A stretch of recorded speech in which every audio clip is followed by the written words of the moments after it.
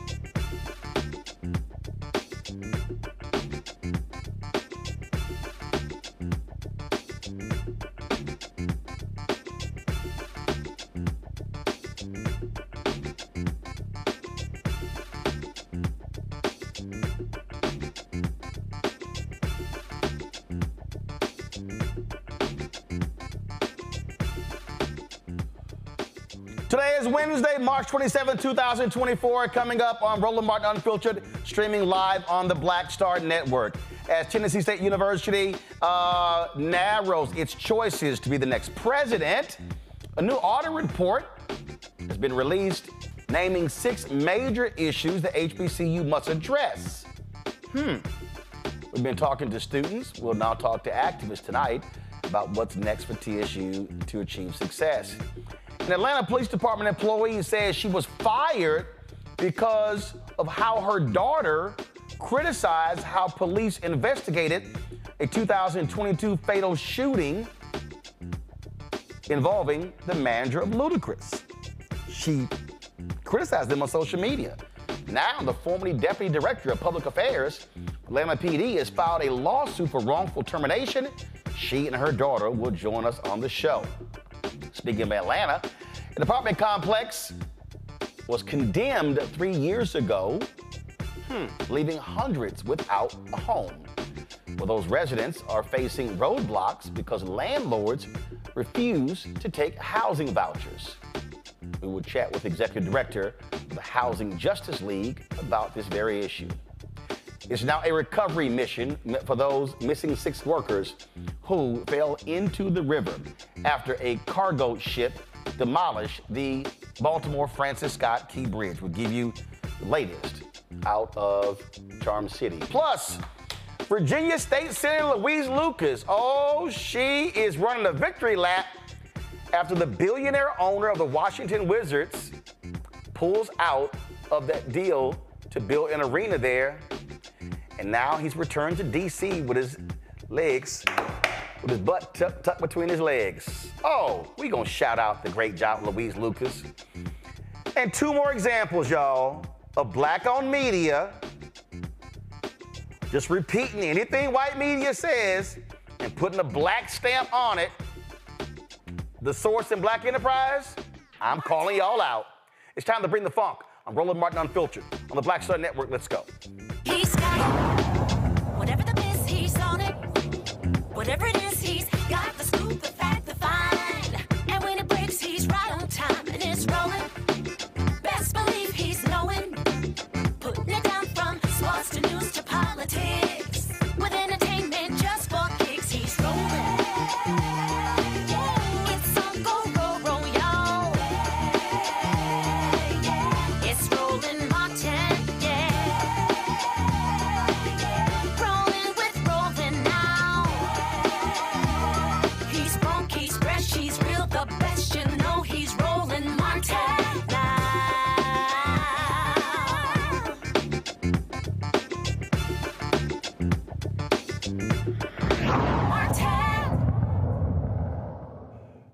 President of Tennessee State, Dr. Glenda Glover, announced earlier that she was retiring. Well, the current board of trustees, they have narrowed the search down uh, to three individuals. Those individuals uh, are Charles Gibbs, the CEO of the National 100 Black Men of America, William E. Hudson, Vice President of Student Affairs at Florida A&M University, Michael Torrance, President of Motlow State Community College in Southern Middle Tennessee. Now, the problem is you got the legislature, Republicans trying to get rid of the entire board of trustees. Well, the question is, are they going to allow the current board to do their job and pick the new president? Or are they trying to determine the outcome, who's going to be the next president, uh, by forcing them to delay? This, of course, uh, has some serious concerns for students, faculty, staff, and others. While this is happening, Comptroller Jason Mumpower released his the second audit that was done on TSU, and they found several issues uh, that the university should focus on. The report identifies six issues, including T- saying TSU did not follow federal higher education emergency relief fund guidance during the COVID pandemic, leaving $318,113 in question. The financial aid office didn't adequately reconcile its direct loan records to the direct loan servicing systems records as required by federal regulations and could not resolve discrepancies timely. TSU didn't have adequate procedures to ensure Title IV credits were refunded timely to according to federal guidelines for the first for the federal direct loan and Pell Grant programs. TSU didn't report timely and accurate information regarding students' enrollment statuses. TSU didn't return Title IV funds in compliance with federal regulations. TSU's Office of Financial Aid granted Title IV funds to ineligible students. Now, again, lawmakers, alums, as well as current students aren't the only people who want the success of Tennessee State University. The TSU Community Coalition uh, comprises a variety of people who are interested uh, in seeing the school succeed. Joining us right now, Pastors Chris Jackson, uh, Barry Barlow, Kenneth Kane. They are of the Save TSU Coalition. Glad to have the three of you here. So let's first deal with this here. So the board has narrowed the choice down to three choices, but you got the legislature trying to replace the entire board of trustees. So all of that work is now in flux. So the question is, is this board going to be allowed to hire the next president of Tennessee State University? What say you? You know, thank you so much, Roland, for just being on the front lines. And we just want to say from bottom of our hearts from Tennessee, we appreciate you carrying it all week and uh, making a difference. Personally, I, I believe that this uh, whole uh, legislative supermajority is drunk with power, and uh, I believe that they they should be charged uh, with D. DWI, DUI, deciding while under the influence of this power and control. And so I believe they will do whatever it is and whatever it takes to remain and, and, and retain control over us in a paternalistic overreach. That's my thought. So, uh, so Roland, again, thank you for having us. Uh, it appears to me that there that there is at least an opportunity to maybe allow uh, the process to uh, to work as it is intended to work. However, we um, we have we're having a major problem, as Dr. Jackson has indicated, with this supermajority not allowing things to uh, flow according to policies, rules, and laws. So the hope is that you would allow uh, the team to finish picking the president, and that president would be very much a part of, as well as the community and the students and the faculties, in making sure this board stays as sovereign as possible. Mm-hmm. That is the hope. Yeah. But based on the record, these folks have done so many things in the midnight hour uh, we are having to just be very reactionary to everything that they're doing. And so the hope is it'll go forward according to plan, but we are standing ready. We are being vigilant, and we are ready to get in good trouble if necessary. on uh, tomorrow, you've got students who are going to be speaking out. Uh, we're going to be there uh, on third, excuse me, on Monday uh, at 11 a.m. Nashville time, 12 o'clock Eastern.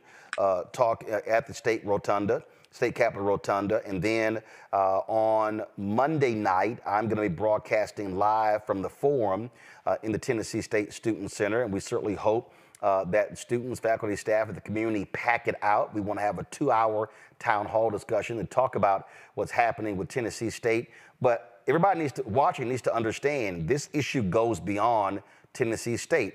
We are seeing the exact same issues arise in numerous ways at HBCUs all across the country.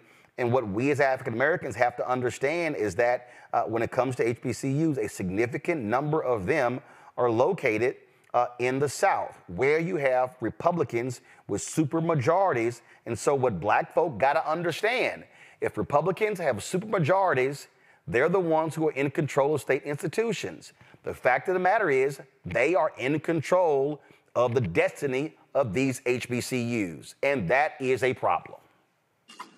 I agree. So, so in what you reference in terms of those reports, Roland, uh, it needs to be understood that uh, four institutions were looked at. Three of them were PWIs. Each of them had at least uh, a fault, a finding that they were in error. Of course, you, you're not likely to hear the drums beating and the noise being made in, in the local media as to what they, they were in error of. Everyone wants to focus on what I like to call perceived errors at TSU. Yeah, there are errors, but they're not errors that warrant you forcing out a president. Right. They're not errors that warrant you disassembling a sovereign board. They're not errors right. that warrant you not allowing an institution to be sovereign and move forward with its with its infrastructure moves. The, the, the errors do not warrant you prohibiting us from being able to build the large dorms that we need so our students didn't have to stay in off, off site in hotels. That stuff is unwarranted. it, it's, it's unwarranted that we have uh, buildings on this campus that you have like four and five, six generations of people who have attended. So the errors that they found do not warrant the actions that they have taken. Agreed. Yeah. yeah. Um, so uh, obviously the goal now is you got the House that's going to be deciding. The Senate says get rid of all of them. The Mm. House, we, we've heard that potentially three, four um, seats picked by uh, the governor. But right now, for folks who don't know, how's the current board picked? Who picks the current board of trustees? The, the, governor, the, go, the governor, uh, and they're giving, I think it's a two-year, uh, is it a two-year term that they're selected uh, from the governor, and then they, then they have to go back before the uh, General Assembly to be reassigned on a biannual uh, basis. Right. And the university picks two. One is the student trustee. Right. And one is also the faculty representative. Well, uh, again, uh, we're going to keep watching what happens there, and I, people just need to understand that this thing is a much broader and bigger beyond Tennessee State. Uh, we appreciate uh, y'all joining us on today's show, and we'll and uh, I look forward to seeing y'all on Monday. We'll see you Monday. We'll see you Monday. Take care. All right. Uh, folks, speaking of Monday, uh, this is the flyer right here. We're going to be in Nashville, uh, broadcasting. We'll be live streaming the, the news conference uh, in the state capitol rotunda. You see, uh, we are, uh, of course, you see Bishop William Barber, national co-chair, Poor People's Campaign, LaTosha Brown, co-founder of Black Voters Matter, Darrell Taylor, who's the TSU Student Government Association vice president. He was on the show yesterday. Sean Wimberly Jr. is the TSU student trustee.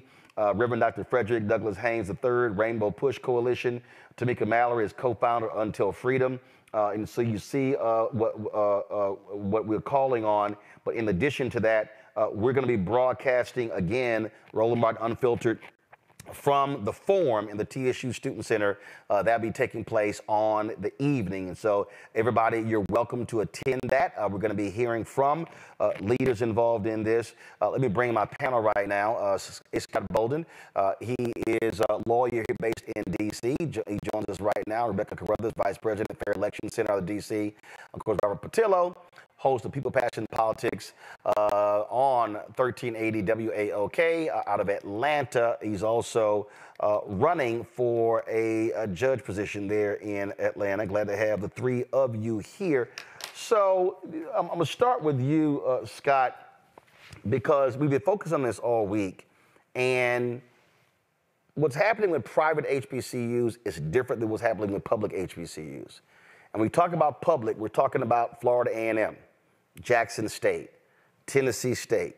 We're talking about uh, Texas Southern University, Prairie View A&M, Southern, Grambling. And so the funding, the leadership, all of these things are literally being determined by uh, Republicans, and they are advancing bills that, frankly, are counterintuitive to the interests of black people. And these things are colliding. Well, of course, these are land grant institutions. Um, and as a result, if the state funds them, then the state can control them. Let me do full disclosure. I represent Glenda Glover in connection to her retirement at Tennessee State, but I also sit on the Board of Trustees for Morehouse College. And when I look at those compliance issues or the alleged errors in the report, I can tell you all of those errors are fixable. Uh, there are no major flaws in the implementation or the areas of Title VI and Title IX and, and the other bullet points that you and your team put up. Uh, these are compliance issues. These are errors, especially in the area of financial aid. This is all very fixable. So the state legislature, maybe even the governor, are gaslighting this issue because if you look at PWIs, private white institutions, uh, they don't get a perfect score either. But because they can exercise their judgment, because the, the state, uh, the governor, and the House and the Senate can exercise this type of control over the board, when you talk about who appoints the board, several of them are appointed by the governor, if you will, but they have to be approved, I think, through the state legislature. But when they want to meddle, and by the way, let's remember that this land grant institution, Tennessee State, by federal uh, review, uh, has been underfunded by $2.1 billion. The state gave them a quarter million, 250 million, I think, out of the budget a few years ago, but they are still severely underfunded. And so, on one hand, you you can't tell them what to do and get rid of the full board and then criticize them for implementation when at the same time you've underfunded them over several decades of 2.1 billion dollars and expect them to perform at the same level. So there's a there's a lot of hypocrisy here in this review, and I'm glad that you're going there. I'm glad that other black leaders are going there to not only call this out but try to influence the resolution, whether they get rid of six board members or the whole board. The fact of the matter is, the new president, uh, whoever they pick, is going to face the same type of challenges so long as the Republican legislature is involved in this and has a supermajority. So, black people in Tennessee, go vote. Because if you get a Democratic majority, you wouldn't be facing these issues with historical black colleges like Tennessee State University. Well, the reality, Rebecca, is that uh, Republicans dominate the legislature. And so the first thing is is one, if you're able to knock them down from having a supermajority to a majority, it actually gives Democrats more power to be able to impact right, legislation. Right. That's a real that's a real issue. Uh, Rebecca, and I'm always trying to remind people, people like, man, but can we take it over? First of all, you can't take it over. You, you got to knock the margins down. I mean, if they got a 20 seat margin, you got to knock it down to 18 to 15 to 12 to 10 to 5, even it out. It's a process. And I think what you're seeing is after they, they, they did not move on legislation last year to deal with uh, uh, that uh, mass shooting, you get a whole bunch of white women and uh, young white folks who begin to protest. And guess what? They started filing to run against these folks. And so that shooting last year has generated lots of momentum and that shooting and the reaction of the legislature, they were so shameful that these white women came to the meeting holding up signs and they actually barred them from holding up signs. They had to go to court, and the judge like, you can't outlaw somebody holding up silently a sign in the meeting. But it goes to show you how Republicans in Tennessee are using a sledgehammer against any opposition that they face. You know what? I was just in Tennessee a few weeks ago. And here's the thing anytime you have a veto proof majority, and for the audience, a veto proof majority means that there are so many people, so many legislators in one party that even if the governor was inclined to veto what they pass, um, they still have enough people to override the governor's veto. And so when you have a veto proof majority, that means that you have a super majority um, in your state house um, chambers. And that's what's happening um, in Tennessee. And it is very difficult and very hard in the middle of a session to fight back against a supermajority. But to your point, if people want to change that, they could vote and they could vote um, the supermajority out, even if Republicans um, in the next um, um, in the next session um, still have a majority. It might not be a um, supermajority; it might be a simple majority. So the practicality of that, what does that look like? That means when you have committee hearings, that means it's a lot more even in, in your committee hearings. You don't just have one person who could decide the rules for everyone else, but now you're actually going to have more debates, which means you're going to have more quality and less extreme legislation. But specifically to this audit, you know, I read through it. I've been through multiple audits with multi-million dollar organizations, and I wanted to actually go through and look at some of the, the six findings with TSU. And when I started to add up the money that we're talking about here, the, the, mm-hmm. the questions around the money only total about $622,000. And just for context for the audience, that is probably less than one tenth of 1% of the total Tennessee State University budget. And so, whenever you go through an audit process, your auditors will always find issues where you can improve on with internal financial controls. But 622,000, which appears to be less than one tenth of 1% of Tennessee State's total budget, doesn't show an, uh, an egregious problem. What it does show is that Tennessee State, under Title IV, which is financial aid, they need to tighten up and be a little bit more efficient and probably update some of their systems with how they're um, disseminating their financial aid to their students.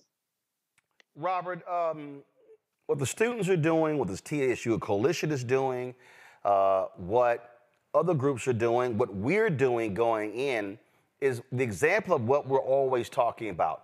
Trying to get folk to understand that you can't just sit and complain about what they're doing and then do nothing.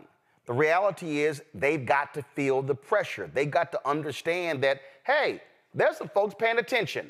there's some folks out here not liking what we're doing. And when we talk on this show about the election is the end of one process and the beginning of another, what we're saying is, all right, Republicans, y'all got a supermajority, but don't think for a second that we're going to be silent uh, with, with regards to the kind of actions y'all are taking. And I think too often, I mean, I was on the phone the other day with an organizer, and the organizer said, you know, Roland, the problem is a lot of people say, well, what is this, what is this going to change if, if we go out and protest?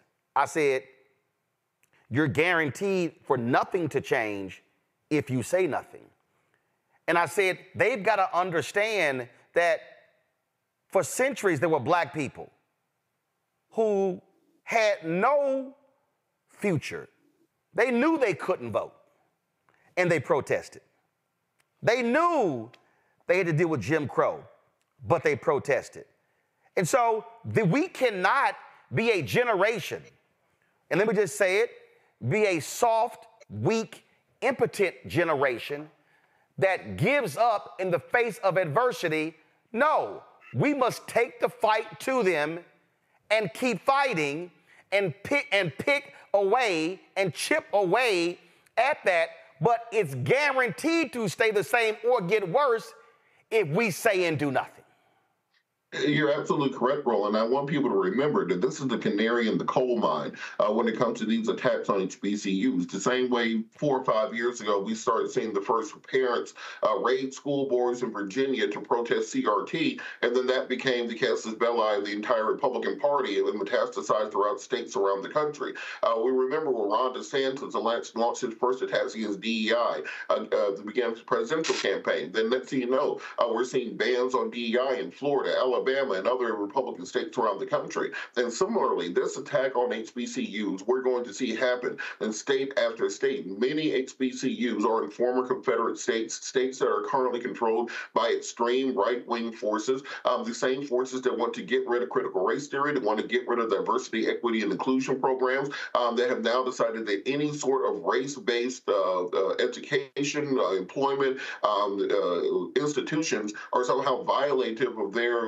conceptualization of equal protection and their uh, twisted logic of what Dr. King believed in, they are now using this to attack any race-based programs that, uh, that resulted in the uh, ascension of African Americans. Uh, put simply, as Mos Def said, you start keeping pace, they start switching up the tempo. They mean to move the goalposts because they are seeing too many African Americans in higher education, too many African Americans in degree programs that were once reserved for simply them. Have too many African Americans taking advantage of availing themselves of an HBCU education uh, putting into question the sustainability of many predominantly white institutions. And we cannot forget the connection this has with the new NIL rules. All of a sudden, these black athletes don't need to go to Tennessee, uh, University of Tennessee, University of Alabama, University of Georgia. They can go to a Jackson State, a, Clark Atlanta University, a Morehouse, a Tennessee State University, and make much of the same money. So these uh, these uh, legislatures realize they have to start attacking the HBCUs themselves because they cannot allow that competition to exist within the market. And this is part of a coordinated effort effort nationwide by conservative forces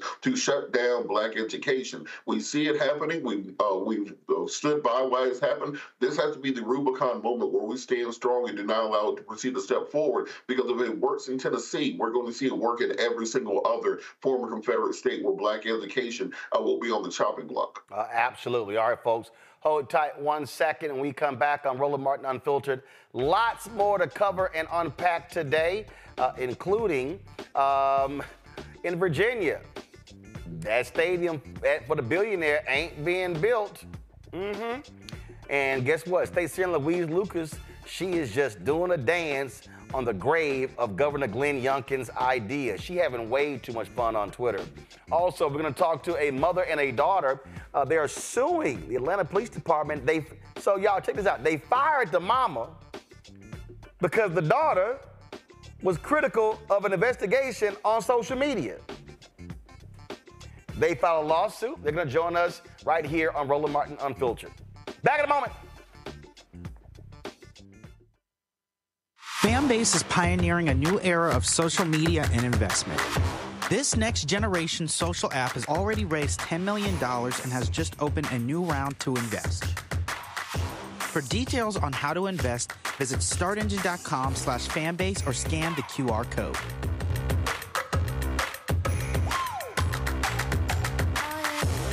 Another way we're giving you the freedom to be you without limits. As bad as Trump was, his economy was worse, and black America felt it the most. He cut health insurance while giving tax breaks to the wealthy and big business. He stoked racial violence, attacked voting rights, and if reelected, vowed to be a dictator and, quote, get revenge. We can't go back. As president, I put money in pockets, creating millions of new jobs, and capped the cost of insulin at $35 a month. There's a lot more to do, but we can do it together. I'm Joe Biden, and I approve this message. I'm Faraji Muhammad, live from LA. And this is The Culture. The Culture is a two way conversation. You and me. We talk about the stories, politics, the good, the bad, and the downright ugly. So join our community every day at 3 p.m. Eastern and let your voice be heard. Hey, we're all in this together. So let's talk about it and see what kind of trouble we can get into. It's The Culture, weekdays at 3, only on the Black Star Network. Hi, I am Tommy Davidson. I play Oscar on Proud Family, Louder and Prouder. I don't say I don't play Sammy, but I could. Or I don't play Obama, but I could. I don't do Stallone, but I could do all that. And I am here with Roland Martin on Unfiltered.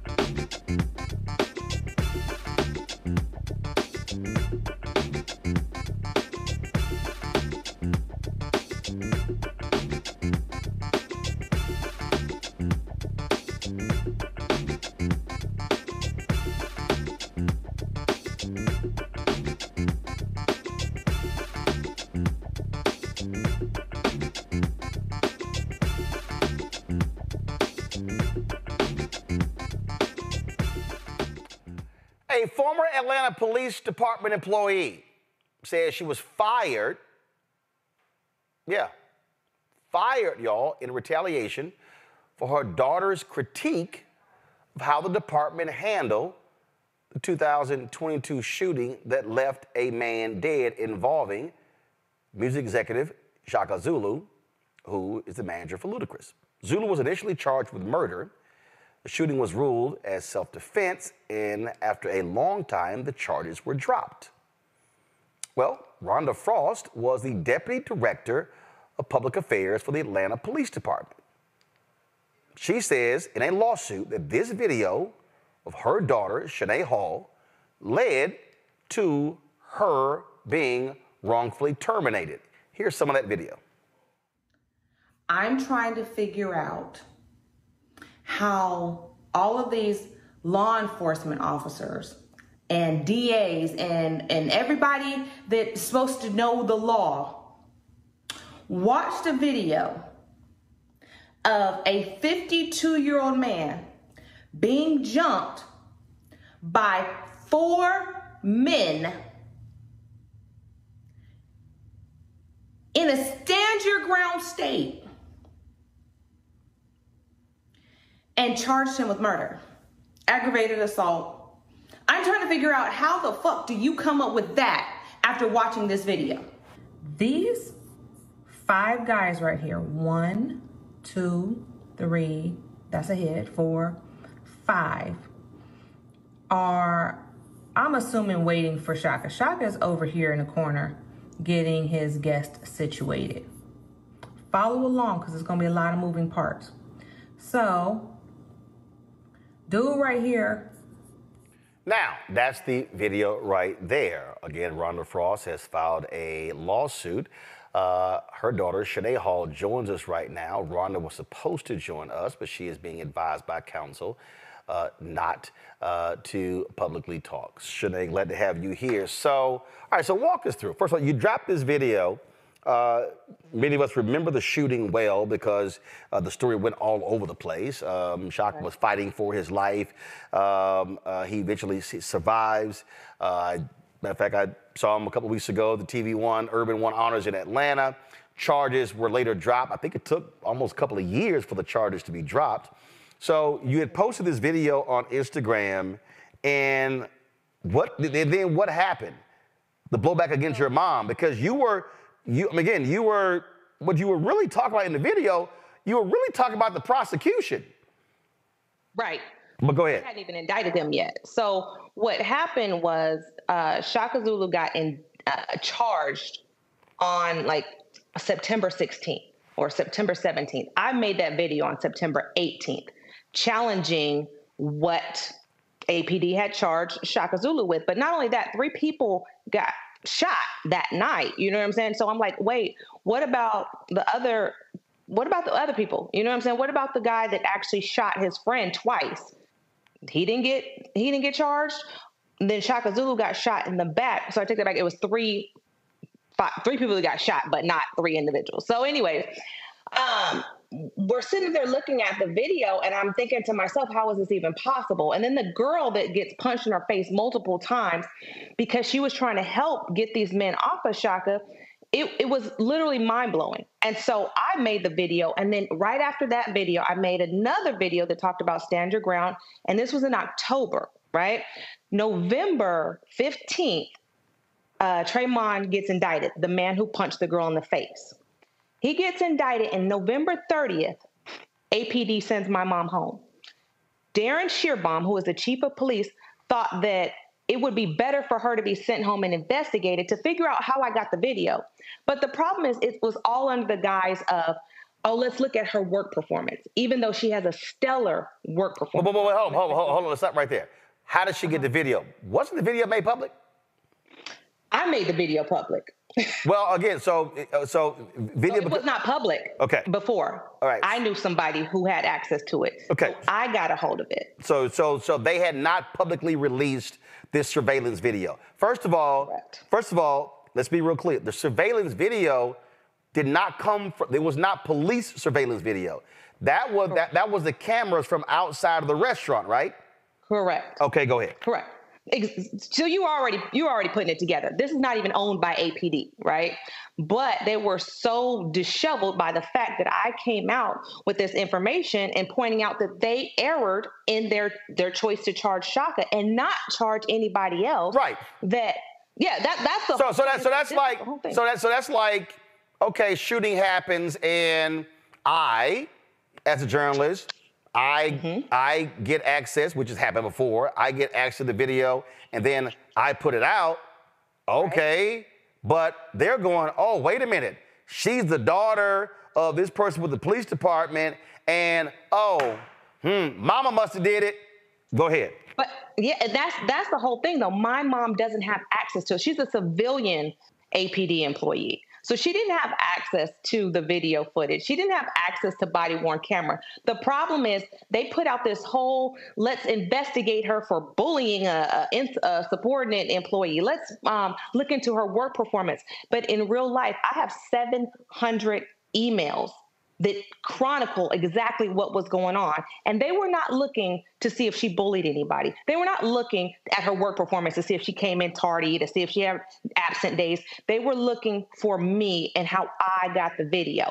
That is a problem. That is is against every violation that the city of Atlanta has in place. Like they literally have codes.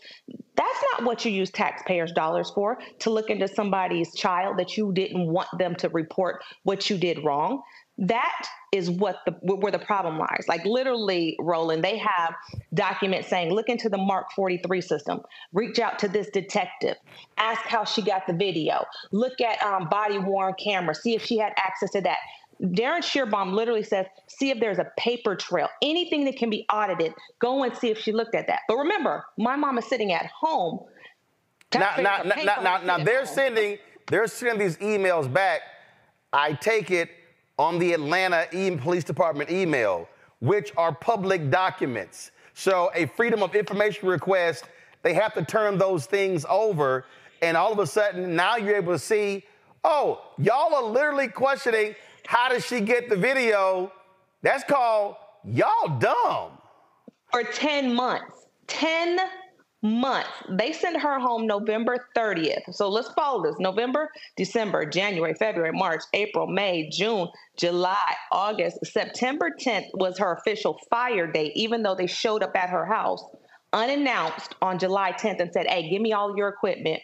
You no longer work for APD effective immediately.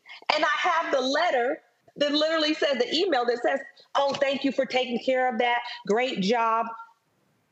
Did you not think that anybody was going to see this? Let's be sensitive.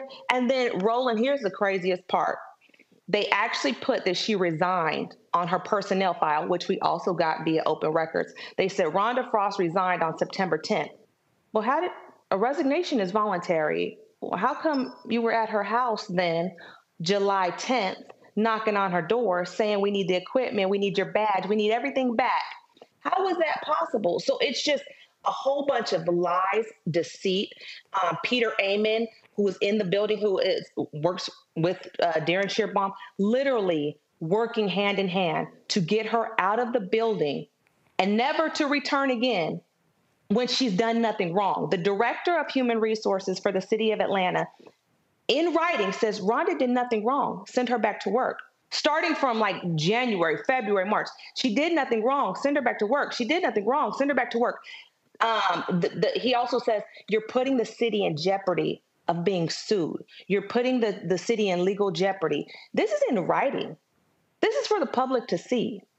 And this is what taxpayers' dollars are going to day in and day out. Every time that they file a motion moving forward, there's taxpayers' dollars going to support this buffoonery that they know that what they did. They know the wrong that they did. They know my mom did nothing wrong. You know why I know? Because it's in writing.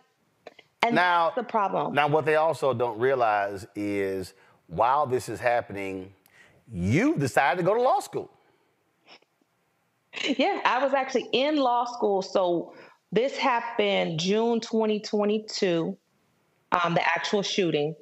And so that would have made me like a 1L year because I'm getting ready to graduate in um, a couple weeks now. So it's almost over. That's how long this has been going on.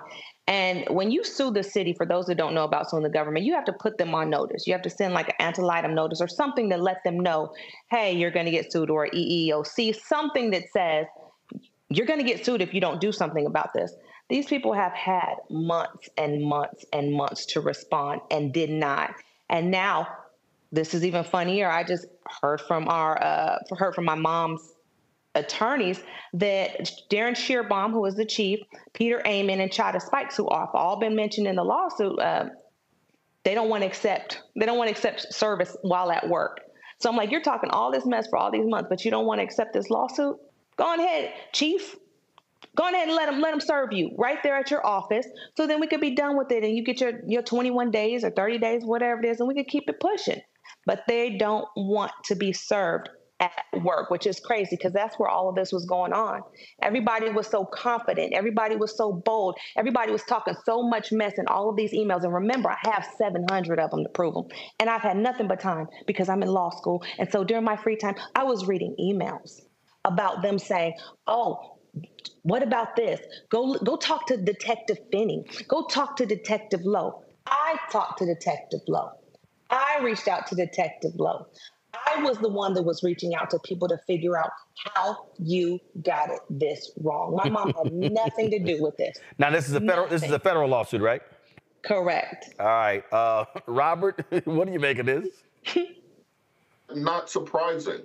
Not surprising is what I uh, uh, have to say about this because we've seen this happen before in Atlanta, and we'll continue to see this happening in Atlanta. Uh, we have to understand that there is a culture within the APD um, that extends to criminal defendants that, re, uh, that that extends to whistleblowers, that extends to individuals that seek to reform the system, where we see actions like this take place very often. That thin blue line uh, turns into a, a, a, thick black sharper, sharpie line uh, when it mm-hmm. comes to these questions of litigation or people who are trying to make the types of internal changes needed for better policing. And I, I, I stand by the sister and everything that she is doing to defend her mother, but I think we need to have more actions of this nature within the city because we've seen that uh, simple political reforms are not enough. Uh, that whenever there's are politicians to seek to reform the APD, uh, we see what happened to Keisha Bottoms, see what happens to other politicians. They get ran out of office um, because the APD has the power to simply allow crime to go crazy for about six months, uh, which uh, causes them to lose re-election. So we have to have people who are willing to participate in the type of litigation necessary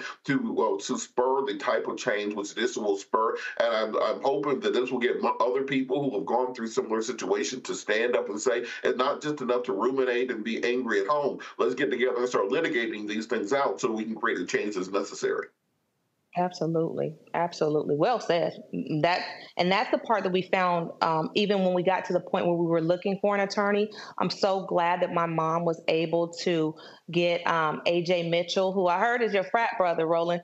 Um, you know, on, I mean, look, if you're looking for a great attorney, you might as well call an alpha and not call any other any other fraternity. Oh God. he, he, I'm just I'm grateful for him because my mom got, is now at least en route to getting some of the justice that I feel like she deserves. But I think, uh, like your uh, co-host just said, it's it's about people standing up. What they did, they tried to send me a message. Schierbaum tried to send Shanae a message and said, "Look at Shanae."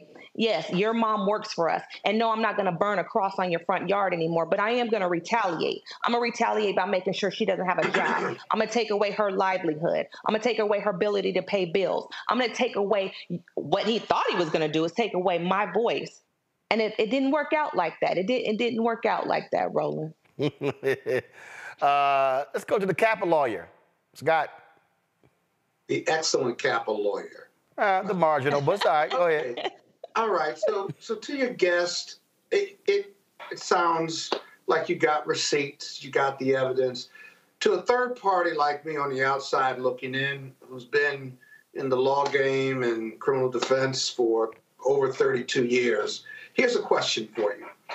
That seems like a lot of work and a lot of conspiracy and a lot of efforts on the part of APD to have your mother uh, removed from her position. And when when you see a set of facts like that, then it begs the following question: What's the motive? I, I mean, why go through all of that time, money, energy, and now a lawsuit that, at least based on she's going to get past summary judgment?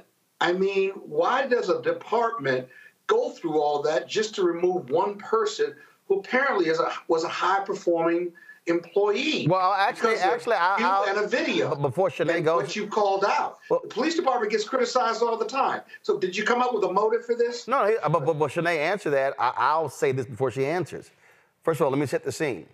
This was a very high-profile shooting. It got mm-hmm. lots of attention.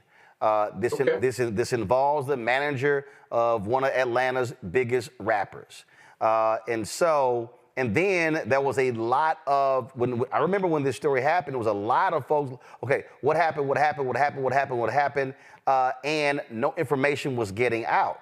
And I remember when Shanae dropped the video, video comes out, and then it was like, what the hell? What like like what what the hell were they doing? Uh, right. And why? And, and there literally was no conversation ever at any point. They charged him with murder. Correct, Shanae? That's correct. And so all of us, and uh, and then, and he couldn't, um, places where he couldn't go, and so it was a lot of focus on this. Shanae, go ahead. Yeah, exactly. So what what happened? Remember, nobody had access to the video, so they were able to charge him and what they thought was going to go on their merry way, right? And and that's the problem with a lot of police departments. You just whatever black man will do, and especially the most powerful one that's sitting in the room. And and, and then and the initial, let me just add it here, and, and the initial narrative, again, because I remember this vividly, the initial narrative that was established was that Shaka Zulu got into a fight with some men in a parking lot, pulled out his gun, mm-hmm. killed, shot at the other men killed them. Oh, manager of rapper, uh, manager of Ludacris, uh, charged with murder. And so that's all anybody knew. Now, why he was fighting for his life in the hospital, that was a narrative. And the whole bit to time was kind of like, what happened, what happened. No one knew what happened. It was like fight, gun gets pulled out, gets shot. Shanae drops the video, then the whole narrative changes to, oh, damn, he got jumped. It was self-defense. Go ahead. Okay. Absolutely. And the and the video certainly certainly shows that. I guess my ultimate point is it would have been easier for the police department to do the right thing. Right. And go by the book than all of this other stuff. And it, it, it would have been easier. And it would have been easier to share. Again, this it would have been easier to share the video with the public. Right. It, it, was, it was sort of like, no, no, no, we ain't releasing nothing. We ain't releasing nothing. And it was like when, when she got the video, we were like, what y'all doing? The, the truth was easier than the lie. Right. Think about Absolutely. it. The truth was And- easier than the lie. But go right ahead, uh, Shanae. So no, so when you say that, when you ask the question, that's the same thing. It almost seems surreal. So as I'm looking at them, and I posted my very last video after we got the written uh, memo, the internal memo.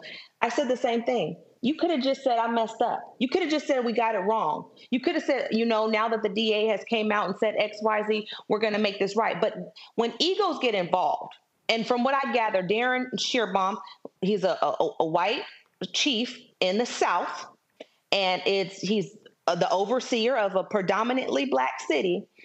It's nothing worse than having a, a black woman or black person call you out publicly, loudly, that get shared nationally, internationally, um, with people that knew of Shaka Zulu, knew of Ludacris, knew of this these murder charges, and to be wrong. So their investigation was never about my mom. It was how did I get the video, which is even more disturbing because instead of you sitting around trying to figure out how we got it this wrong, you're trying to figure out how I got the evidence that came out. And that's like like Roland said at the very beginning. That's not even your video. Why do you, why are you so involved in other and what is not APD's property? That's the question that I have. And, and in fact, in, in fact, I, I just want to just show folks the framing. And I think before I go to Rebecca, uh, this is sort of the framing. Give me one second. So this is WSB Channel 2. So th- this was the headline. Go to my iPad. Longtime rapper of Atlanta rap, longtime manager of Atlanta rapper Ludacris among three people shot in Buckhead. So then police say an accomplished Atlanta music executive and manager to Atlanta rapper Ludacris was one of several people shot outside a popular Buckhead restaurant early Monday morning. Then when you go into the story, uh, it says uh, it says here, police said there appears to have been an argument or altercation that happened, and the victims were shot in the parking lot of the shopping center. So, and it goes back in January, the Hawks honored Zulu for his community service, praising him for being a positive leader in Metro Atlanta. The other two victims' identities have not been released. So that's the initial story. But check this out. This then is the, ne- the next story that comes. Now remember, the, the previous, this is November 22nd, 2023. The previous story, uh, the previous story, um, the previous story, um, Would have been uh, around The previous story was, yeah, was a year earlier. So all of a sudden, you see this story Ludacris is longtime manager, Shaka Zulu, killed 23 year old in self defense. Prosecutors say. Now, now the, the crazy thing was, again, if early on, if early on, if you actually release the video, the public will go, hold up, wait a minute, that was a fight. They went after Right. him, That was a self fight. defense, Right. and so then a whole year, and I, and in fact, he was um, uh, at one point, uh, Shaka was out of the city. He literally went to Florida to recuperate. I happened to be speaking at an event there, was invited uh, to a, a, a- get together. Uh, I had met him before, got an opportunity just to chat with him, spend some time with him. This brother literally was on lockdown, Rebecca, for a year. M- movement, l- mobility, couldn't go certain places. His life was altered, and over his head for an entire year was a murder charge. When the video that Shanae dropped showed, it was self defense from that night. This just it, this was just crazy. Well, I hear everyone saying that it would have been easier just to tell the truth in the first place, but we know this is anti-blackness. If people mm. weren't racist, the world would go around much faster. The world would be a better place. And we know that's what this thing is. So, Shanae, my question to you is taking on anti blackness, especially at an institution and law enforcement, it comes at a personal cost. So, my question for you is you know, there is strategies with taking on institutions and anti-blackness. What was your strategy? What was your thinking in releasing the video under your name instead of releasing the video under a pseudonym or anonymously? You know what? I wish I had some skills that made me think beyond the initial oh my god i'm releasing this in my own name this is something i was passionate about and it's it's not just these types of you know not just the shaka zulu thing when i did a video four or five years ago on why the NCAA needs to be paying athletes. Um, I had gotten a lot of followers, including you know Deion Sanders and, and big name celebrities that were like, "Wow, you actually stood up for something that you believed in." So when I saw the video, I was livid. I was like, "How do you charge this man after being stomped into the ground, you know, and, and with my whole one year of lawyerly skills, I was like, I know for sure that this is a, at a reasonable person standard, that any reasonable person, you, I, whomever, my father, if you come out and someone 20 in their 20s, and for most of us on here, we're in our 40s and 50s, and you start putting your hands on me you guys jump me, if I have a weapon on me, I'm shooting everybody, everybody in proximity that is causing me harm. So the way that he handled it to only fire one shot, and again, three people were shot. You had Art, um, Mr. Bennett, who was the one that passed away. You had uh, Willie, who was the one that got shot in the arm by his friend, and then you had Shaka Zulu. So all three of these people are, are shot. One is dead. Shaka Zulu is fighting for his life, and then you have Willie, who uh, was the friend of the guy um, who was doing the shooting and no one else is charged. And you have a woman who's mercilessly punched in her face, and no one else is charged. And I actually wrote the, the mayor a letter, and I, I said, if he was white, if Shaka Zulu was white, don't change any other scenario, don't change anything else about the, the fact pattern. This man would not have been charged, but he's not white. And so when Darin Schierbaum or whoever reported to the scene, I'm not sure what they looked at. But if they looked at the video footage the same way that I did, that man fought for his life in self defense.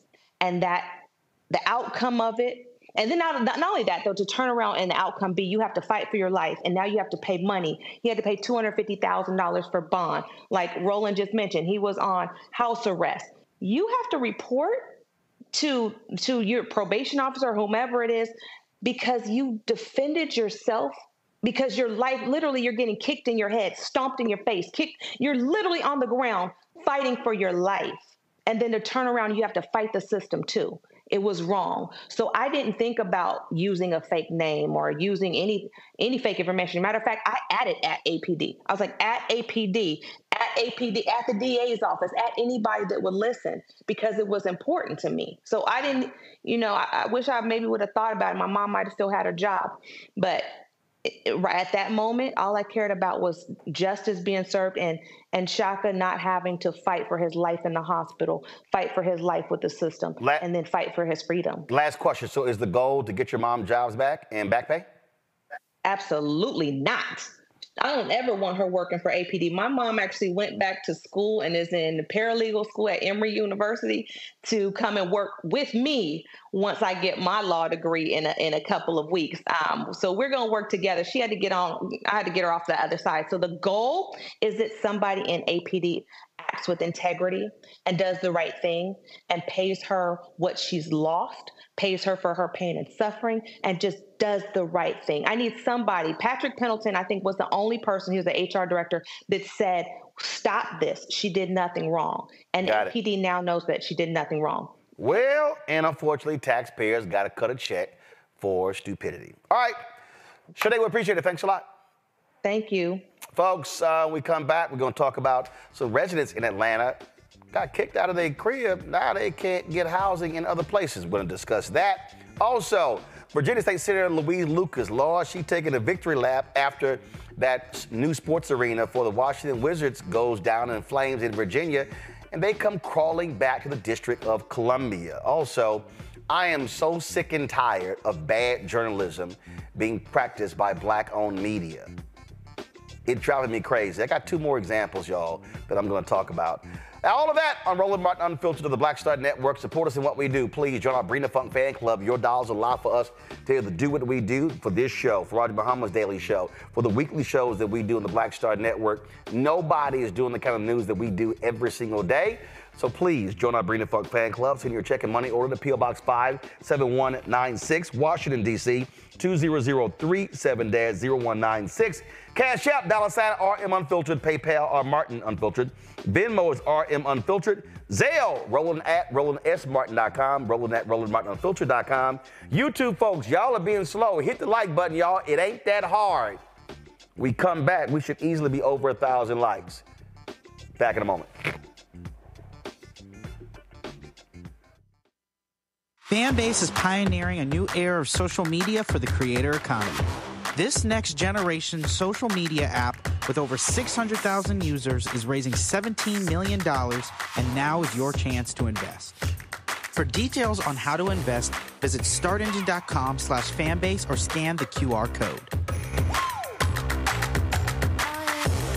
Another way we're giving you the freedom to be you without limits.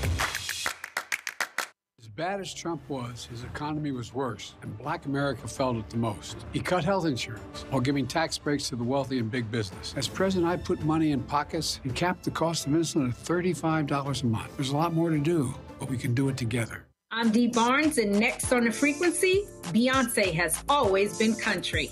We're talking to music, pop culture, and politics writer Taylor Crumpton about her new article on Beyonce's new country songs and how country music has always been part of black culture. Since the release of Texas Hold'em in 16 Carriages, there has been a definition of what black country music is and a definition of what white country music is. Hmm. White country music historically has always won the awards, have always got the certifications.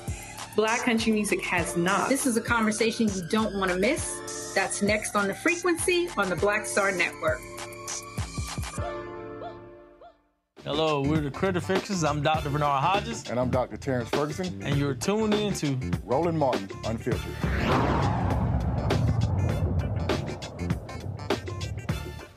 Folks, three years ago, a judge condemned the Forest Cove apartment complex on Atlanta's south side and uh, ordered a demolition of the complex. Well, uh, the complex's owners uh, were hit with 231 housing code violations for a variety of reasons disrepair, sewage, leaks, mold, you name it. Uh, residents were forced to vacate their homes with little to no relocation assistance. That was all promised. Hundreds of families are having difficulties finding new homes in a very tight housing uh, market as well. Some fear being homeless or being forced to move into um, really low opportunity areas, segregated areas, contrary to uh, what they should have been doing. Joining us right now is Allison Johnson, Executive Director of the Housing Justice League. Allison, glad to have you here. Um, th- this is so so. Was there an agreement? What was the case here when the residents had to move? Were the landlords supposed to offer them assistance, money, what? Help them find a place, uh, have them sign up for free with a, a, a relocation service. Walk us through that. Yeah, so thank you for having me. Um, so Forest Cove is just one of the eye-opening um, examples of what happens when your community has been deprived of resources for time. Um, particularly with Forest Cove residents, what happened is that they were organized enough to, en- enough to um, go and fight for their right to have great, um, safe living conditions. Um, but under these conditions, as you can see, um, they were so deplorable that people were not waiting for HUD to intervene, that some of them had to leave. So um, we finally were able to get the attention of this mayor's administration to say, hey, enough is enough. You know, people cannot continue to live under these conditions, and we've got to get people out of these conditions. Um, and so there was a back and forth for a while um, um, understandably that you know, although this was a private property and it was a HUD-owned property, the city still had to come in and intervene because these are still residents of the city of Atlanta. Um, and so HUD um, and Millennia, who is the corporate landlord of this property, they neglected this property for more than five years. Um, this property already had come from another neglectful um, corporate landlord. Um, and so what happened was they were promised that they would be relocated to high opportunity um, neighborhoods. But what happened is that most of the residents have been relocated to, again, like you said, low opportunity um, neighborhoods. Um, they are having a time with finding housing. Um, they are having to uproot their children from their current schools that they have um, been enrolled in for the last eight months. Um, and it's just been a chaotic, ridiculous situation. Um, and people who are accountable have not been accountable. And now it's time um, that residents are standing up to say, hey, you have to be accountable um, to what you say you were going to do. So right now, um, folks are having a really hard time. They're being threatened with evictions. Uh, because some of the property or the other landlords where they have relocated to are not allowing them to stay or use their Section 8 vouchers. Um, and some of them are being threatened with their utilities to be shut off. Um, and so it's a very chaotic situation. They're moving from one chaotic situation into another undesirable situation. Rebecca. Sure. So, are you all also um, contacting the federal government to have HUD strip the Millennia Corporation from having from serving any HUD um, um, facilities um, in the country? Because I suspect that they're getting getting all of this government contracts. That's probably the majority of their bottom line. So, you all going after their eligibility for for um, government money? You bet we are and we're not going to stop until um, Millennia has emptied their affordable housing portfolio. Um, we have gone after them. We have had some successes. Right now, HUD has currently disbarred Millennia from receiving any HUD contracts right now and from the future for the next five years. Um, so, what that has done is has forced Millennia to begin selling off its affordable housing um, stock. Um, we're not going to stop there because you know, it doesn't end there. They they own other properties. Um, and some of them are market rate, uh, and they treat some of those tenants just the same as they treat those that are living in in uh, Forest Cove complexes. So yeah, it was a it's a victory. It's a small victory, but again, we're not done there. Robert. Uh, you know, affordable housing become all but a thing of the past here in Atlanta. Uh, what are options for individuals who do find themselves in situations where their affordable housing options have gone away? Um, what are the options for staying still within the city of Atlanta? Because we've seen, starting with the Olympics, uh, many low-income people being simply moved outside of Atlanta, changing the demographics of the city, and most people don't think that uh, that has happened on accident. Yeah, so as we know, like both HUD and the city of Atlanta have been very neglectful and have played a huge portion or huge part in displacing Black residents in Atlanta. Um, so some of the options that they have to really organize themselves, organize themselves out of this because we can't build ourselves out of this situation. There's no amount of money that's going to allow us to build enough affordable housing that's needed. We need programs and we need um, those safety net programs like rent stabilization, like more and increase and advanced tenant protections. The state of Georgia is like four decades behind other other states and when it comes to tenant protections we also need to really think about how do we reinvest into public housing so that it is inextricably linked with opportunities? Um, and I know people will frown will frown upon that, um, but we are not meeting our needs, um, particularly here in Atlanta, where we have a huge income disparity and income inequality here. We're not serving those who really need to be served, those who are living below the poverty line. Um, we are creating and we are building luxury units, but we are not going deep enough to a real deep affordable housing where families will have stable places to live and raise children and where their children will have the best opportunities to have a, the best quality of life. So those options are very few and limited. we believe in the spirit of organizing. Um, if it were not for us organizing with the the residents, uh, none of this would have taken place. So you know, we've got to have that backbone to get, you know, this is the cradle of the civil rights movement. So, you know, we've got to stay here. And we believe that organizing is the most important tool to us stabilizing families in the city of Atlanta. Scott? Yeah, but in connection to this particular affordable housing um, uh, development, let me ask you this, and if I missed it, please forgive me. Why hasn't the state AG or the Corporation Counsel uh, sued to put the um, the development in receivership, and i.e., forcing the developers to fix the property or bring in a new developer or receiver, or in the alternative, why hasn't HUD taken over management of the property and made these changes? In Washington, that would be the first two things, uh, whatever side I would be on as a lawyer, that would be on the table. Can you comment on that? Yeah, so those were some of the things that we were actually fighting for because we understood that the outcomes would not be as positive as one would be if they were to tear down and reconstruct and rebuild and every there was a one for one replacement unit. Why hasn't HUD done that? That is our exact question to HUD. Why do they mm-hmm. continue to allow it to happen? Yeah. something that just happened overnight. And then give those give those residents vouchers to go to another affordable housing unit. It's fundamental. It's it's federal law basically, and and it's part of HUD's mission. I've been on. I represent a lot of developers. No offense, but I, I've been on the losing side of a couple of those lawsuits here in D.C. So that's why I'm raising it with you. It's so fundamental. Yeah, well, you know, again, Georgia has a really, really huge issue when it comes to the balance and the imbalance of power between landlords, developers, and tenants. Um, we have put HUD on notice. Um, they, at some point in this transaction, that they have violated these residents' civil rights, um, and so they were all Mhm. notice, um, and they are. Um, they have began to come into the fold of the conversation in terms of trying to work with tenants to make sure that their basic needs are being met, but it's a little too late. It's a little too late Yeah, that. you know, um, yeah, excuse me. You know, Roland, the other problem with HUD and, and what they do, they take forever to do what they're supposed to do. With the goals and, and uh, object, objectives, they take forever. They will take over this facility two years from now when it's a moot issue. So I, I understand your dilemma, ma'am. yeah, it's terrible. HUD, uh, I think it's time for um, HUD to think about um, the role that they play in housing.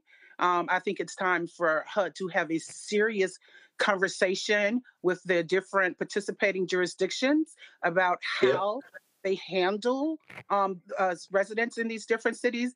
Um, and it's also time to have the serious conversation is can we afford to continue to have forest coves throughout the um, United States of America?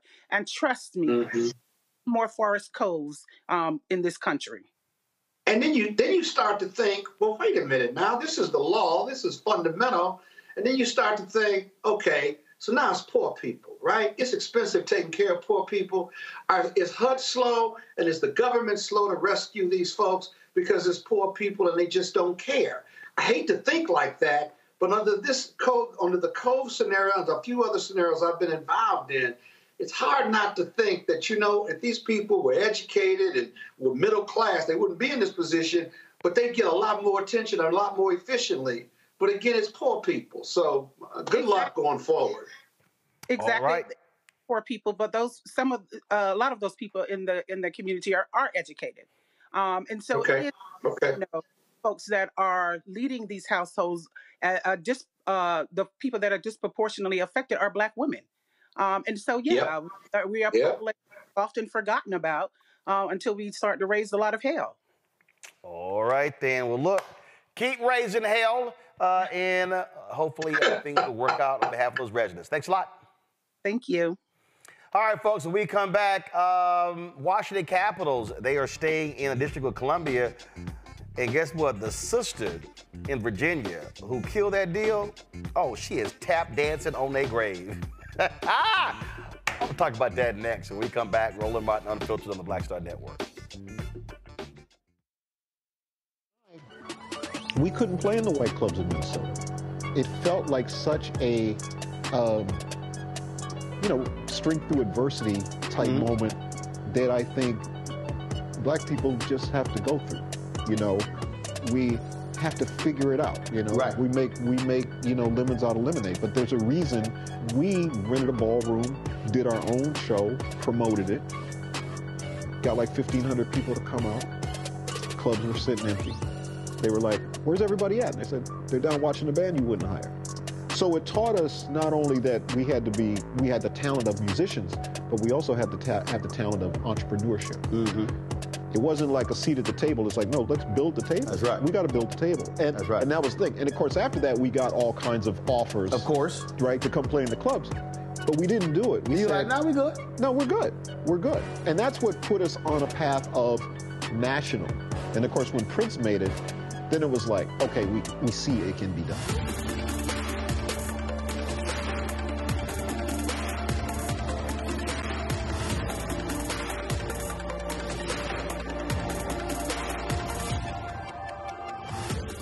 Fanbase is pioneering a new era of social media for the creator economy. This next generation social media app with over 600,000 users is raising $17 million, and now is your chance to invest. For details on how to invest, visit startengine.com slash fanbase or scan the QR code. Another way we're giving you the freedom to be you without limits. Me, Sherri Shepherd with Sammy Roman. I'm Dr. Robin B., pharmacist and fitness coach, and you're watching Roland Martin Unfiltered.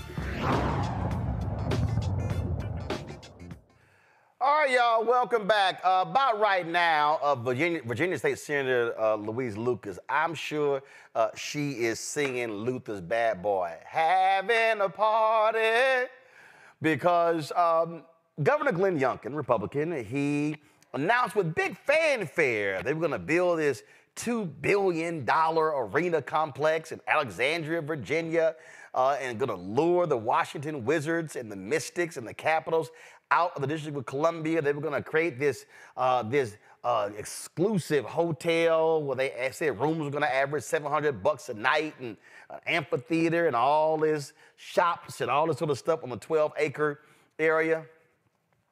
That sucker dead uh, because uh, State, Senator Virginia Louise Lucas, who's over the money, said, "No, we ain't funding this."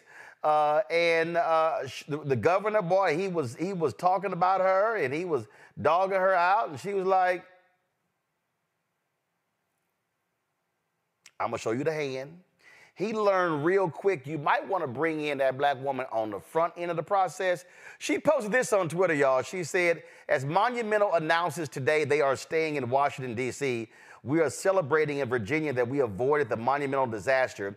Thank you to everyone who stood with us in this fight. Now, here's the deal, okay? So, Ted Leonsis, who owns the Wizards, is a billionaire.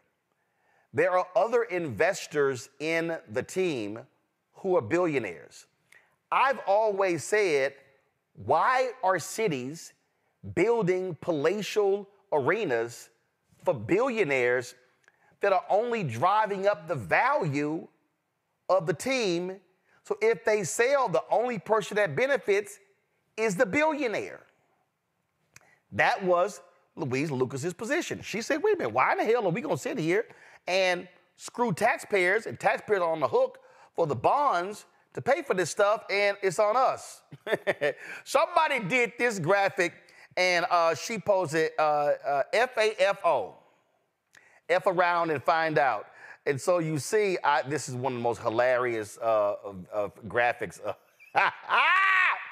so they put somebody, they put uh, uh, her head on somebody's photo uh, next to a grave, and the headstone said Youngkin and Leonsis's $5 billion arena uh, with her throwing the peace sign uh, with the image. That is absolutely hilarious. Now, DC uh, announced a $515 million deal uh, that uh, they- the city council is going to vote on next week uh, to keep the team in the city. And, and what it's going to do is it's going to create this office, excuse me, the place next to uh, the next to their current arena uh, is going to create this place for them to be able to uh, have retail space and stuff along those lines. And so now uh, Leonsis is, you know, singing the praises of the deal.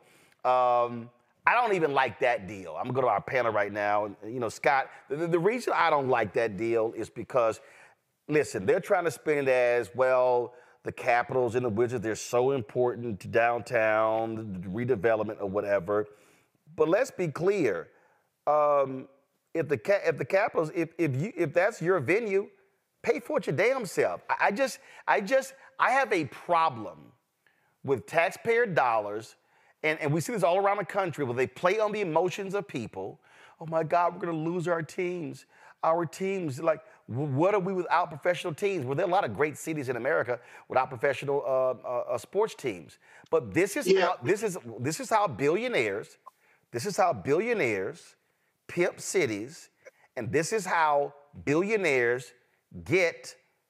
They love to talk about welfare. This is how they love getting handouts and corporate welfare under the guise of economic development. Yeah, Roland, you know, as former head of the DC Chamber of Commerce, I, I, I worked on the deal that brought the Wizards from suburban Maryland uh, 20 plus years ago. I get it. I hear what you're saying, but there is great economic benefit, and and and with the Wizards and the uh, the, the the the center. Um, what is it? Uh, what is the the Verizon Center? That area in downtown Washington was economically depressed. There was nothing there. Pollin paid for what I was about to tell you is a Pollin cut a deal with Marion Barry to build it, and he built most of it. The city helped, and that whole area was transformed. Now, it hasn't been kept up, and it's still an economic generator in regard to small businesses, uh, restaurants, retail. I mean, that whole area was transformed. So you can't take that away. But Abe Pollin paid for most of that before he died.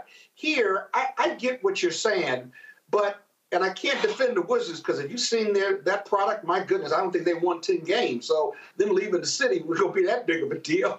But my point is the city's in a tough spot because on one hand, the fans uh, who are in DC who love them, want them to stay, and want to make it a night of entertainment. And that's the night of entertainment with the retail around it and so forth and so on.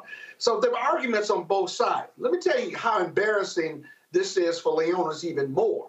When when Mayor Bowser went to him, the Washington Post publishes, when Mayor Bowser went to him to present this 500 plus million dollar deal, before him and Youngkin did a press conference the next day, he sat in his office, watched her present all of this, and then at the end of the presentation told her it was too late and denied he had a deal with Youngkin, but then went and did the press conference the next day. Yeah, because, because his arrogant ass. It was really bad. His, it was his- because his arrogant ass thought he had a great $2 billion deal in Virginia, and Youngkin sold him on that.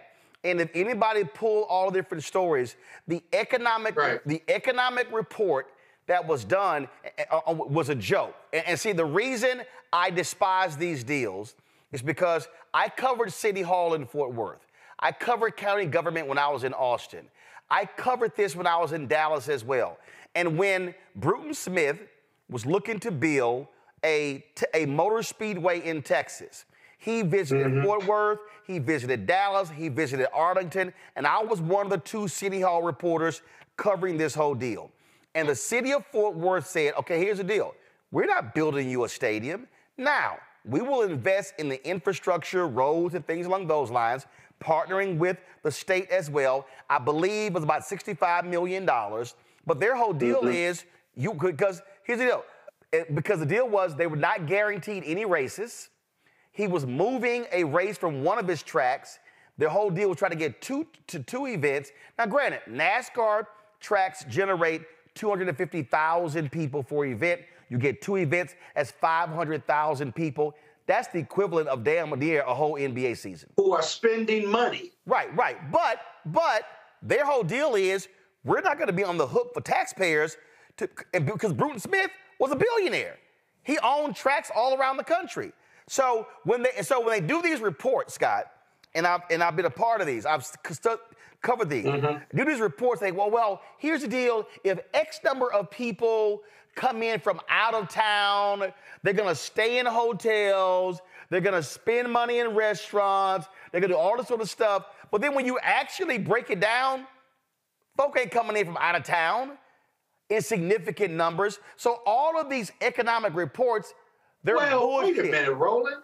That, that's not true. I mean, I, I understand what you're saying, but that's not necessarily true. Yes, it is. You got people coming from out of town in Maryland and Virginia that come to D.C. No, no, no, Scott. Scott, Scott. the they- all the no, Scott. Scott, you missed what I said. When they put these economic reports together, they're lying.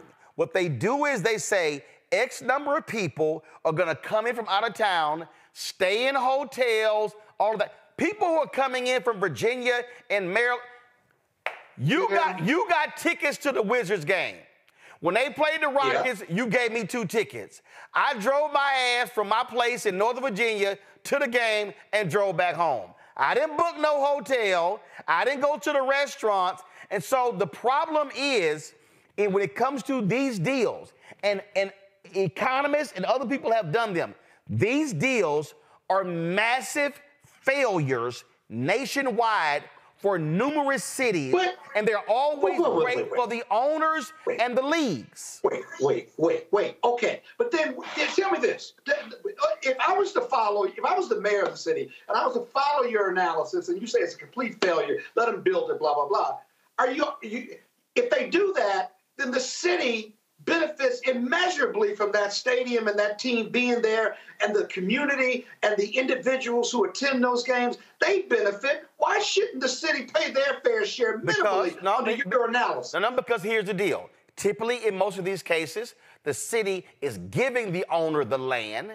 Typically, Yeah. they're, typically they're giving them a massive, massive deal. Tax cut. Uh, deal tax cut. They're giving them a massive deal when it comes to, oh, the city will own it, but you can lease it for a dollar for 99 years. And see, here's what happened. Leonsis was like, oh yeah, we out. And the city attorney said, um, come here. that's He- another He issue. said, he said, You locked he into said- that lease. He said, come here. When we put the last improvements on the stadium, when we took it to the bondholders, y'all had to agree, well, you couldn't leave until 2037.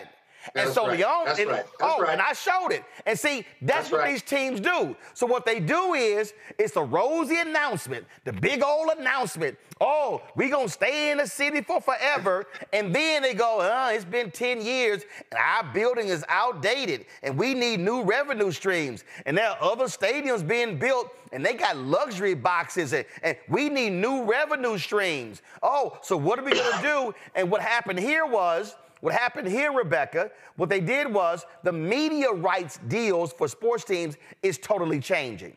And so Mark Cuban, for instance, sold the Dallas Mavericks to the folks uh, who own the Adelson family, who own uh, the casino.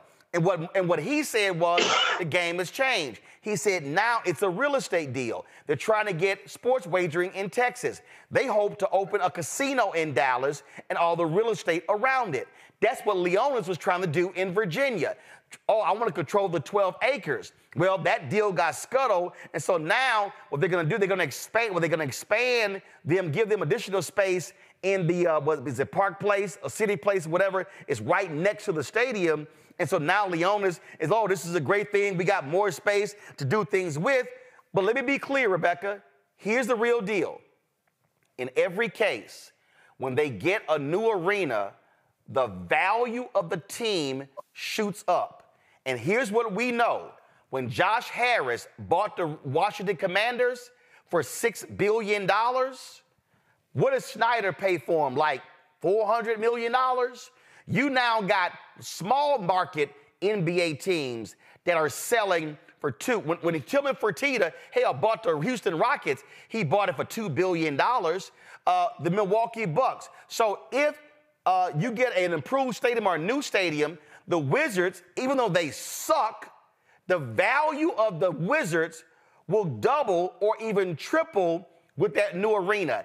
That's how they gain the system, Rebecca.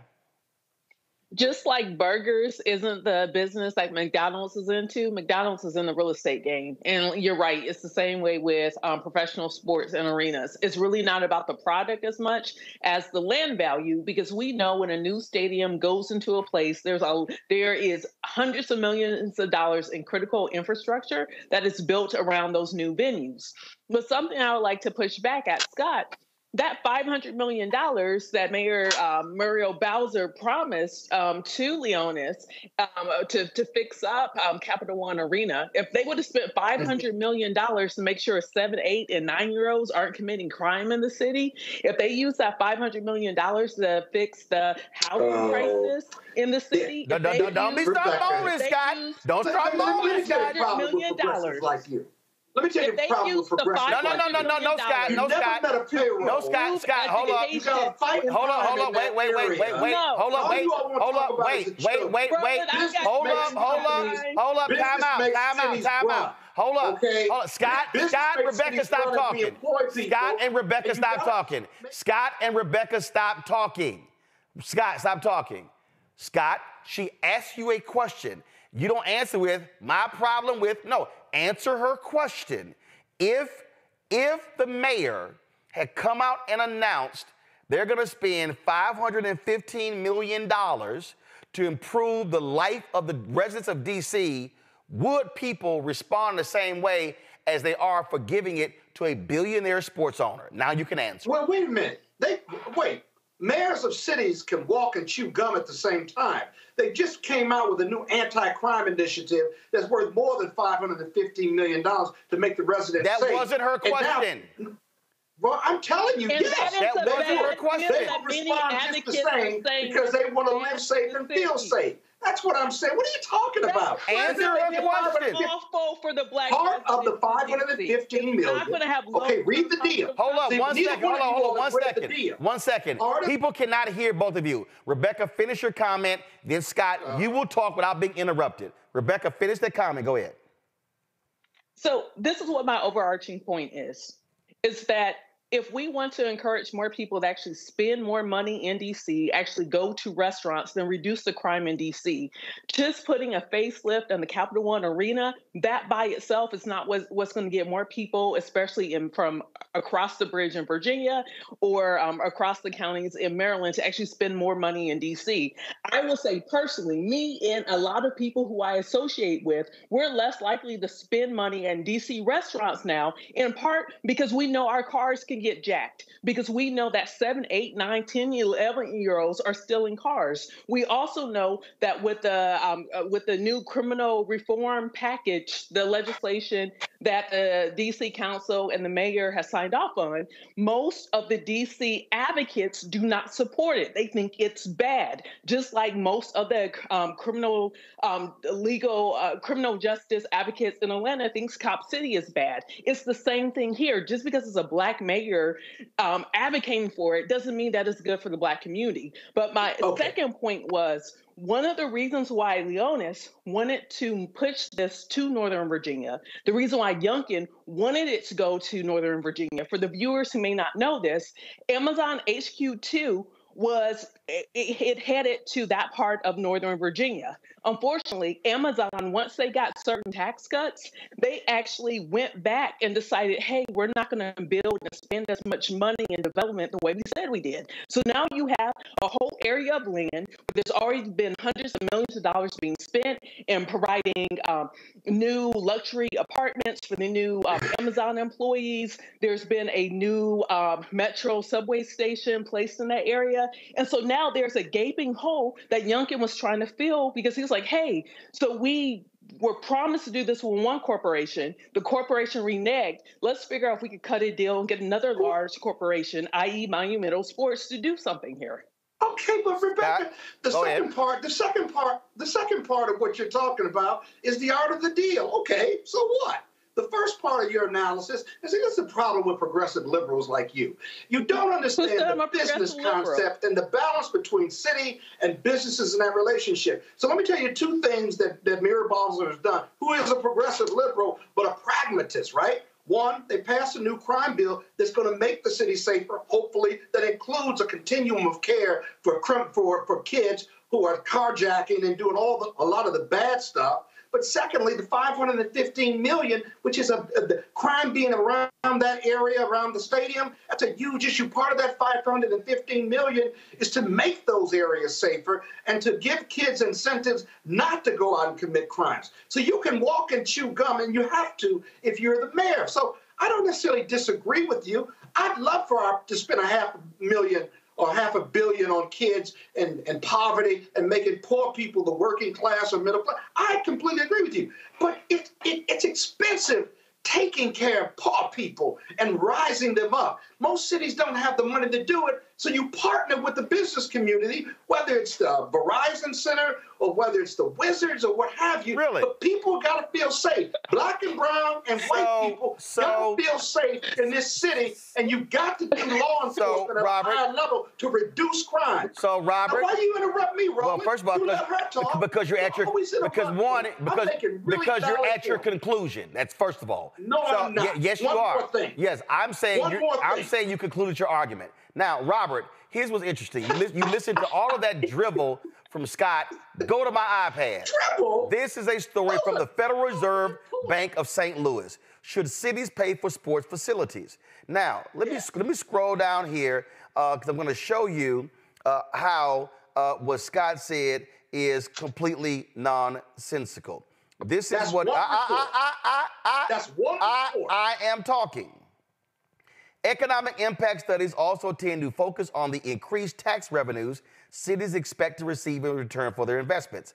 The studies, however, often gloss over or outright ignore that these facilities usually do not bring new revenues into a city or a metropolitan area.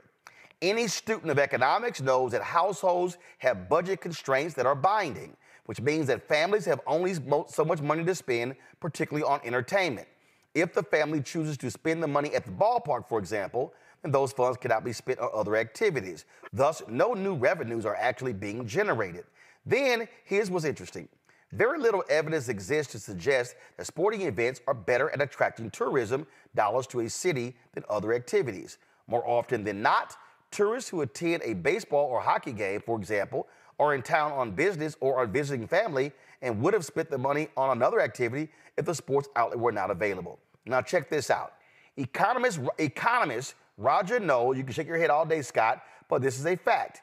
Economist, econo, economist Roger Noll and Andrew Zimbalist have examined the issue in depth and argued that, as a general rule, sports facilities attract neither tourists nor new industry. A good example, once again, is Oriole Park at Camden Yards. This ballpark is probably the most successful at attracting outsiders since it is only 40 miles from the nation's capital. Where now this at the time there was no Major League Baseball team, so actually this number is even worse because now you have the Nationals here. Noll and Zim, it says it says about a third of the crowd at every game comes from outside the Baltimore area. Noll and Zimbalist point out that, quote, even so, the net gain to Baltimore's economy in terms of new jobs and incremental tax revenues is only about 3 million a year. Not much of a return on a 200 million dollar investment. Robert. Uh, Well, Roland, you can take that, you can expand that out. Just look at RFK Stadium right now. A multi-billion dollar development right there in Washington, D.C., where the Redskins played for, you know, a generation. How's that neighborhood looking around RFK Stadium? Was it this economic driver that turned that area into a magical paradise where everyone is walking on streets of gold? Um, look at Sochi, where the Olympics took place. There are wolves living in that stadium now. Uh, look at Beijing, where they spent hundreds of billions of dollars on their opening uh, opening uh, ceremonies. The Birdcage Stadium that they use for that and many other stadiums have fallen into disrepair and have actually become environmental hazards taking place. Look at Rio in Brazil, where they have the Olympics at, where their stadium has uh, uh, been reclaimed by the Amazon rainforest. Look at Atlanta, where we have the Olympics at, where the stadium then became the Brave Stadium and now Georgia State Stadium. Stadium economics have never made sense. Indeed, that exact same public investment that you will put into building these new stadiums, if you put it into an airplane and just dropped it out the back for people to pick up off the ground, would spur more economic uh, activity than building a stadium. If you just send everybody in the neighborhood around the stadium, you know, fifteen hundred or two thousand dollars that you would uh, spend for them on behalf of the stadiums, then also fix the streets like you will do for the stadiums and build new retail spaces like you would do for the stadium, you'd have way more economic activity than actually building the stadium itself. These are vanity projects for billionaires so they can invest in something they know has a stable return and that will double, triple. This, this is better than casino money um, buying a sports team at this point in time. This is why you're seeing so many athletes and rappers become minority stakeholders in, uh, in these projects because you invest $500 million in it and then 10 years later you get $10 billion out of it. You don't get that kind of return anywhere on earth, but the fact is the taxpayers don't get that same return and when things go bad, just as you just mentioned with Camden Yards, you end up with a very nice stadium where people are scared to walk inside because Harbor Place Oh, is right next to it, God. completely Oh, abandoned. and, you, and you have kids roving the streets and, uh, and right there in the Capital One Arena where the Wizards play, there you know homeless people and drug addicts rove, roaming the streets, so nobody wants to go in the damn stadium. So it would be better just to fix the problem that existed instead of investing that money in the stadium and still keeping the same problem outside of it. So I'm gonna go back. I'm gonna, I'm I'm gonna hold on, hold on, Scott. Let me Scott, you what's wrong with that Scott, excuse me. Hold on. I'm gonna go back to this, Scott. So this is the question again. This is very basic. Why, if if if the team controls the arena and they get the money from the concerts and other events and all those things, why not say, hey, you privately finance it? You, if you if you're gonna get the parking consent, you're gonna get the parking revenue, you're gonna get you're gonna get the concessions, you're gonna get all of that sort of stuff. Hey, privately finance it. Now you're in the control. Why? Why? Why can't they privately finance?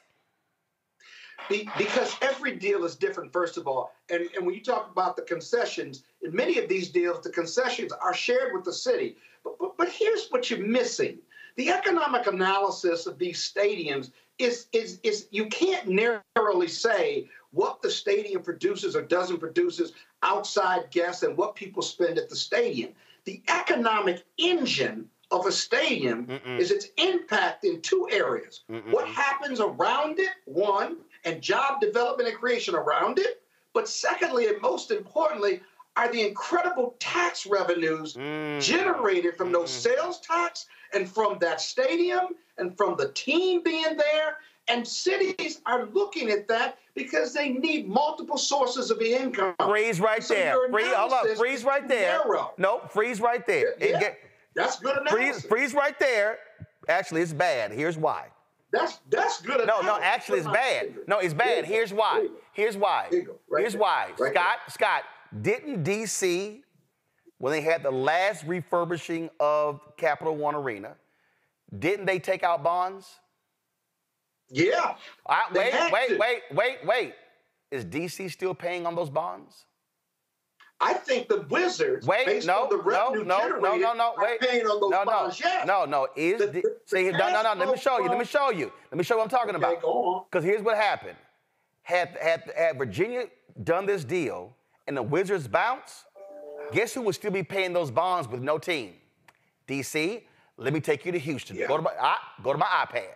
Yeah, I agree with when, you there. When, when Harris County, when Harris County did a deal to refurbish the Houston Astrodome to keep Bud Adams from leaving, they took out bonds. Well, guess what? They left anyway. And so this is a story from 2010 in the Houston Chronicle. This is what it says. More than a decade after its professional football and baseball teams moved out, the Astrodome carries as much as $32 million in debt. Harris County, which owns the stadium, projects that it will take another generation to complete the $48 million in debt and interest payments to get it off the books. Now, But that's what- anecdotal No, no, no, no, no, Scott. Scott, that's not anecdotal. Here's what happened. What happened was a sports team owner said, if I don't get a refurbished stadium, I'm gonna move my team. And so the t- elected officials, oh, we don't want them to leave. so let's refurbish the Astrodome. What happened? He stuck around for a few more years and he took off for the money in Nashville. And guess what? Stuck the taxpayers with the bonds and the interest payment. And that's my point. If these te- if, I- if these teams Want to build stadiums? build that shit yourself. And you know what's happening? And hold up. And you know what's happening in the NFL?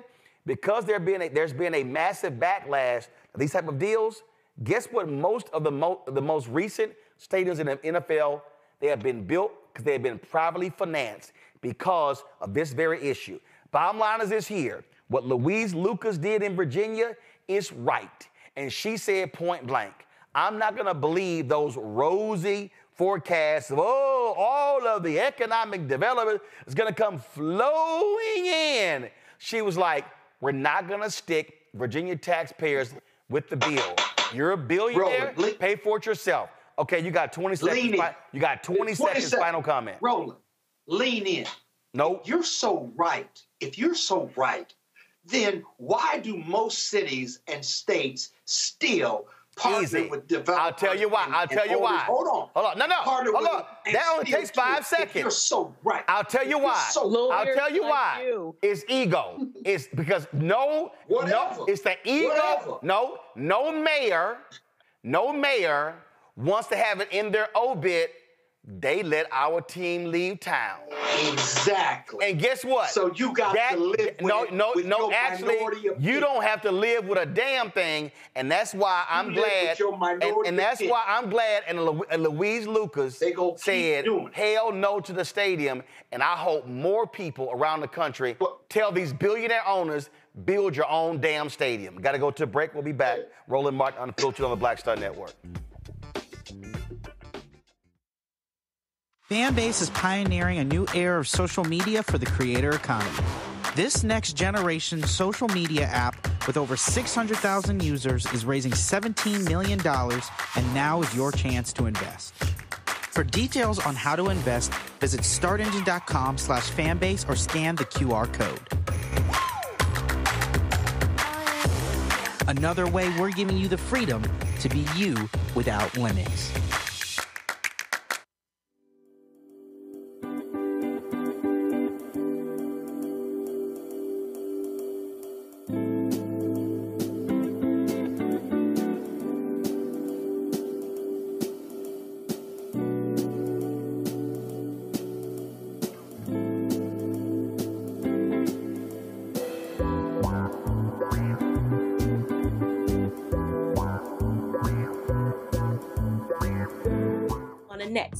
Life with me, Dr. Jackie. People can't live with them, can't live without them. Our relationships often have more ups and downs than a boardwalk roller coaster, but it doesn't have to be that way. trust your gut. Whenever your gut is like, this isn't healthy, this isn't right, I don't like the way that I'm being treated. This goes for males and females. Trust your gut. And then whenever that gut feeling comes, have a conversation. Knowing how to grow or when to go, a step by step guide on a next, A Balanced Life on Black Star Network.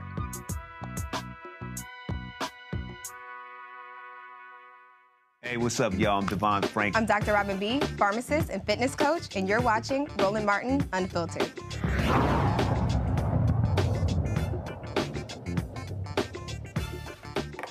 All right, now yesterday I told y'all how I'm sick and tired of these black-owned media outlets uh, that don't even do basic journalism. All folk doing are just rewriting whatever the hell they see in white media. So, yeah, you know, TMZ reported yesterday that Diddy had sold Revolt uh, to an undisclosed buyer. Now, I talked to four sources. The deal has not been closed. It has not been sold yet. Okay? I've known this for a month. But all these folks, all these blogs, Essence wrote a story about the whole Diddy investigation, didn't call nobody, just pulled from Fox 11, called from, from, from CNBC. And I'm like, what are we doing? Why are we putting a stamp of approval on this nonsense? So go to my iPad, and, and I gotta call out Black Enterprise today. So Black Enterprise dropped this story yesterday, y'all, and I'm sorry. This is bullshit. This is the tweet. Diddy may be down bad, but he did secure his bag. That's the tweet. Now check this out. You click the story, y'all. You go to the story, and it goes to um, uh, when, when you go to the story here. this is what the story says. Uh, Sean Diddy Combs is no longer an owner at Revolt TV after selling off his shares to an anonymous buyer for an undisclosed amount. Now, you read the story, and they got all this sort of stuff in here. Sources say Combs sold his Revolt TV shares to an interested buyer, but made sure that the company remains black owned, TMZ reports. You read this story, it ain't nothing but a whole rewrite of the TMZ story. Y'all, this is black enterprise. This is supposed to be the black business Bible. Amid news of the revolt sale, it's being speculated if Combs knew a federal raid was on the way, but how you report, who is the reporter on here? Somebody named Jeroslyn JoVonn. Okay. So we got speculation in the story. When I read this story, y'all, and I read it last night, there literally was nothing that was fact checked. Nowhere in this article, not one, like, y'all, look at the, nowhere in this article did it say Black Enterprise reach out to Revolt to confirm or deny the story. Nowhere in the article. Nowhere in the article did it say Black Enterprise reached out to Sean Diddy Combs. Nowhere. We just slap our name on a story and rewrite what TMZ said. You put in a story speculation. No. Y'all, I was the managing editor of the Dallas Weekly, the Houston Defender, the Chicago Defender, the news editor at Savoy Magazine, was the top editor at blackamericaweb.com. And let me be real clear. If any reporter or intern sent this story to me, my response would be, your ass got one shot to fix it or you're fired. You're gone. See, the reason this bothers me is because what we now have in black owned media is a focus on aggregation. So what we do is we see what somebody else report, then we rewrite it, put our name on it, and then when black folks sit around, they say, Did you read Black Enterprise? Did you read Essence? Did you read this? Did you read Hollywood Unlocked? Did you read The Shade Room? Did you read Ball Alert? Did you read this here? And so we just spin it and repeat what somebody else wrote. It ain't true. The Breakfast Club this morning, they read the story and they said, it had been sold. Factually, it hasn't. How do you not check? And I get it if you're on radio and you're reading the story, how are you a, this is the Black Business Bible. How do you rewrite a TMZ story? Let me tell you what happens at ESPN. When somebody else breaks a story, they'll have their reporters call, write the story, and then they'll put in the article at the bottom which is also BS. This, this story, this was originally reported by The Athletic, or this was originally reported by so and so. The reason this is a problem for me, I am a journalist. I'm not a media personality. And when black people see stories like this, what happens is black people then go, oh, that must be the case. I told y'all what happened when the same thing happened on the Newsweek story about Biden cutting. Uh, matter of fact, I'm gonna show you how this whole thing works. Go to my iPad. Newsweek and Biden and HBCUs. What's the first story that comes up? Boom. HBCU funding falls from 45 billion to 2 billion under latest Biden spending plan. Y'all, the story was a lie. The story was an absolute lie. HBCUs were looking forward to $45 billion in funding. They may, may be faced with just under 2 billion, the Associated Press reported. So Newsweek rewrote the Associated Press story. The $3.5 trillion bill was set to include 45 billion for HBCUs. Operative word here, y'all. And other minority serving institutions. Y'all see that? HBCUs were never going to get 45 billion. When he ran, he announced 45 billion HBCUs and Hispanic serving institutions. Those are the facts. The initial 45 billion was when the Build Back Better plan was 10 billion, not 3.5 trillion. See, here's what I'm trying to explain to y'all. When we read stories and don't fact check, and then we black owned media come right behind them and then rewrite what they wrote, we're feeding a lie to black people, and black people then go, Oh, I saw it in Blavity. I saw it in Essence. I saw it in The Root. I saw it in Black Enterprise. I saw it on The Source. Well, they had to check, so it must be right. We got to do better. And stop putting your bylines on stories you didn't even report. Do y'all know what, what, what, you know what used to happen in media? I'm gonna go my panel next. You know what used to happen in media? When they would rewrite a story, this is what they would do. They would go, we, we would go, defender news staff. Because when you put your byline on a story, it means you actually reported the story. You don't put your byline on some shit you rewrote. You don't slap your byline. I criticized the Essence person yesterday. I'm criticizing the person with Black Enterprise today. I saw the same thing um, by uh, the source put out a story. Same thing on the whole Diddy deal. You know, I'm gonna pull up right now. Did they do the same thing? Oh, well, at least, well, at least the source got it right. At least the source rewrote the TMZ story, go to my iPad, and put source staff. But you don't put your name on nothing that you didn't report on. This is a problem. And I told y'all one of the problems that we do not have, because we're not getting the advertising money, we don't have the resources to have top notch reporters or enough editors or whatever. But I need black owned media to do better.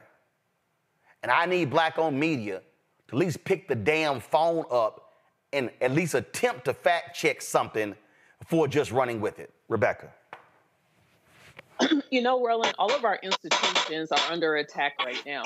And so when we look at misinformation, misinformation is when um, information is misleading or inaccurate.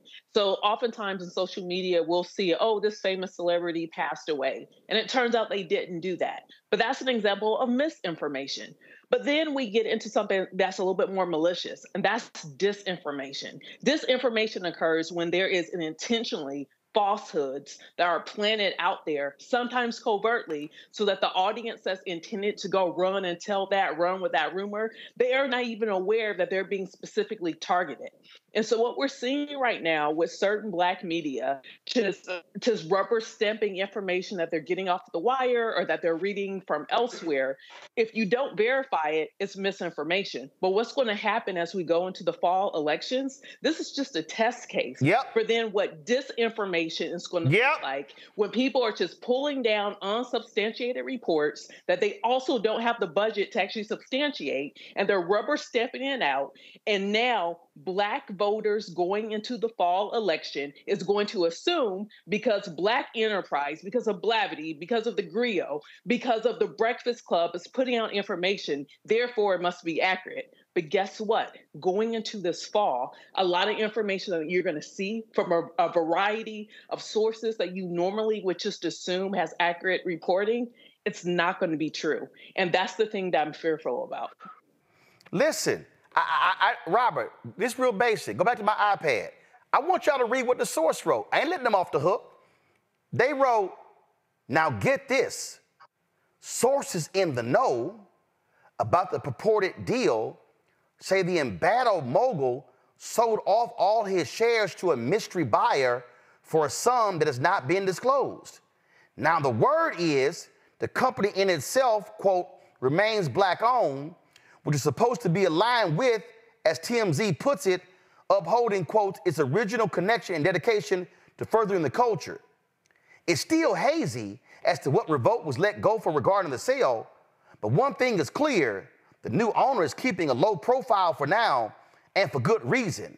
There's a lot of heat around the Sean Combs with Monday's raid by the feds, so now may not be the best time to announce a business deal of that magnitude for one of Diddy's brands. Now, sources say that the owners or owners share a passion for black culture, which is a broad statement, but they intend to introduce themselves formally in the coming weeks. Everything that you just read right there is complete, utter bullshit. And you know what they're doing? Now go back to it. They are simply repeating what they saw in TMZ, but they trying to make it sound like they have the sources. Let me be clear with all y'all who watching. I talk to four people who are actually in the know. The sale has not been completed. I've known about the sale for more than a month, and there is a real deal. The source goes the owner or the owners, it's not owners. I know who the person is. But when you write this, oh, they maybe want to keep a low profile. Bullshit. Then, uh, it's one clear, oh, you know, it's all, you know, the whole day, which is a broad state. You're feeding bullshit to black people. And then they go, well, I read the source and they said this. It's a lie. I read Black Enterprise and they all they did was rewrite what TMZ said, which ain't true. This is dangerous when Rebecca said, you now do this and you apply it to other areas, and we've seen it. And this, look, this ain't about trying to take somebody down, but Black Enterprise rewrote a Washington Free Beacon story about the Biden administration handing out crack pipes. And I sent them an email and said, Do y'all know y'all were rewriting a story from a conservative newspaper that was a lie? They never responded, but it was the same bullshit, Robert. Uh, look, Roland, uh, two points. Uh, the first is just an editorial point. Why is it when they were trying to appeal to black audiences, they just take what white people wrote and then rewrite it in slave dialect? Why do they think that is something that appeals to black audiences? Why do you have to write these things? I uh, know like they're straight off the Step and Fetch It comedy tour. Well, I had heard that they be about to tell some people that we gonna go down here, we gonna get this bag. you don't have to write like that for black people to understand you. And I think that that's the part of the place where we get to this disservice of black media. Because if you think that you have to dumb yourself down to the point that we can't understand, you know, uh, complex words and prepositions and uh, grammar and commas and stuff, uh, well, you're already starting from a, a point of, uh, uh, of disrespecting your audience when you think that's how you have to write. And look, but to Rebecca's point, this isn't going to start. This has started. Look, Roland, when, when uh, we first found out about me running for judge, me and you found out at the same time because there was a article on the front page of the Atlanta Journal Constitution saying that I was running before I had even announced that I was running, before I had even uh, decided I was running. And that from there, we saw other outlets secondhand pick up that article and pick up that information. And they started casting me in all sorts of aspersions to the point Megyn Kelly is sending out uh, tweets. Oh, yeah. Sheila, oh, oh, this, this liberal who, who worked with Reverend Jackson and Robert, when I saw it, what did I do? You tweeted about it. You called him out. I no no no no no no. Before I called him out, I no. Before I called him out, mm, you reached out to me. I called you. Yes. The first thing I did, and here's the deal: if I did not know you personally, I would have went. Okay, who is this Robert dude? Let me see if he has a website. Uh, oh, he follows me on Twitter. Send him a DM. Oh, I'm gonna send him a DM on Instagram. Oh, let me see if he has a LinkedIn profile. Let me see if he has a website. Okay, hold up. Oh, he's a lawyer in Atlanta? Oh, oh, hold up. The story says that he used to work for Rainbow Push. Uh, oh, boom. Let me call Reverend Jackson. Let me call John Mitchell. Let me call Shelly Davis. That's what fucking reporters do. They make calls before they report stuff and before they tweet it. And, before any of that happened, before my phone rang, even one time of any reporter except for you, I had uh, outlets reporting on it in the United Kingdom, New Zealand, uh, Central America, all across the globe. Because as Mark Twain said, a lie goes around the world before the truth puts on its pants. We know that because Mark Twain never actually said that. That's just something that was attributed to him. So when we talk about this this level of lazy journalism that we have now, we have journalists that just assume people are only going to read the headline. No one's going to look into it any deeper, and that their words will just be part of a 12-hour, not even a 24-hour news cycle. And that's why they put absolutely no effort into reporting actual media, reporting actual journalism, and actually reporting a story. They pick what the narrative is first, and then they find a story to fit it, as opposed to taking the facts as they are and just reporting to the public. And Scott, here's the deal. And again, I, I need everybody watching to understand that y'all watch this show. I called out NBC News when they did it. I remember when Root did it. So this ain't, oh man, you picking on Black Enterprise. But I'm gonna tell you, when they ran that crack pipe story, and I just checked, now mind you, nobody responded. I ain't even gonna name who I emailed, but I emailed the top people. Um, but this was literally the email that I sent. Gents, y'all really should take this story down. It's awful because it was rewritten from the right wing website, the Free Beacon. The GOP, come on, y'all, go to my iPad. Thank you. The GOP has spread this nonsense all day. Me personally, I would never write anything based on the quote reporting from that right wing rag. The headline was called Biden administration to fund the distribution of crack pipes and syringes to promote racial equity. By rewriting it under the BE, you're essentially spreading the right wing misinformation. Here is Reese Colbert breaking down the program. Look at hashtag crack pipes on Twitter to see how it is being spread by the right wing. Just letting y'all know. Now, here's the whole deal. I sent that because my whole deal was like, y'all, what we doing? Like, and y'all had somebody, which means some some little person who did no research, didn't check the source, Scott, just rewrote it. You put it up on blackenterprise.com, which means did it go through an editor? Did it go through any fact checking procedure? And now somebody sees it and goes, well, Black Enterprise wrote it, so hmm, they, they must have fact checked it. It shouldn't take me to call them out. The same story got spread by, I think, by uh, the same story got spread by some other people. And I remember I called News One before. After, after I, I left TV One, I called Blavity. I was like, yo, that story y'all got up, that story wrong. Take that shit down. And so, again, for me, the Jasmine brand, and this, this is just innocent. I was reading a post on the Jasmine brand once, and I saw it, and that was like one or two words that actually threw the store off and it was wrong. And I was like, hey, we'll let y'all know that's not correct. Y'all might want to fix that. I respect news, and I need black owned media to give a damn and not fall for the okey doke. Scott, go ahead. Yeah, you know, lazy lawyering, lazy doctoring, and lazy lazy writers in the media, all very dangerous. The problem with lazy writers in the media is that it goes worldwide. Boom! It, makes it even more dangerous. So, so I, I, I agree with you. But but here's a question, Roland. So I get the lazy part, right? Nobody's going to argue with you about that. I guess for me, in, in and I don't know in journalistic standards of excellence or just basic journalistic standards, if I cite a source for my article and I'm repeating what TMZ or the Washington Post said, and I'm rewriting it and giving them credit, aren't I minimally okay with that? Uh, haven't I Well, met no, no, the here's the- minimum standard or no? Right, right, right, right. That's what happens is that that happens. You credit the source. The associate, the Atlanta that Journal Constitution. all the time. Right, right. You credit the source. But here's how I operate. If you black and it's a black story, if if I'm so when I criticized Essence yesterday, they quoted Fox 11 LA, and then they said a source told CNBC that the raid was tied to a sex trafficking deal.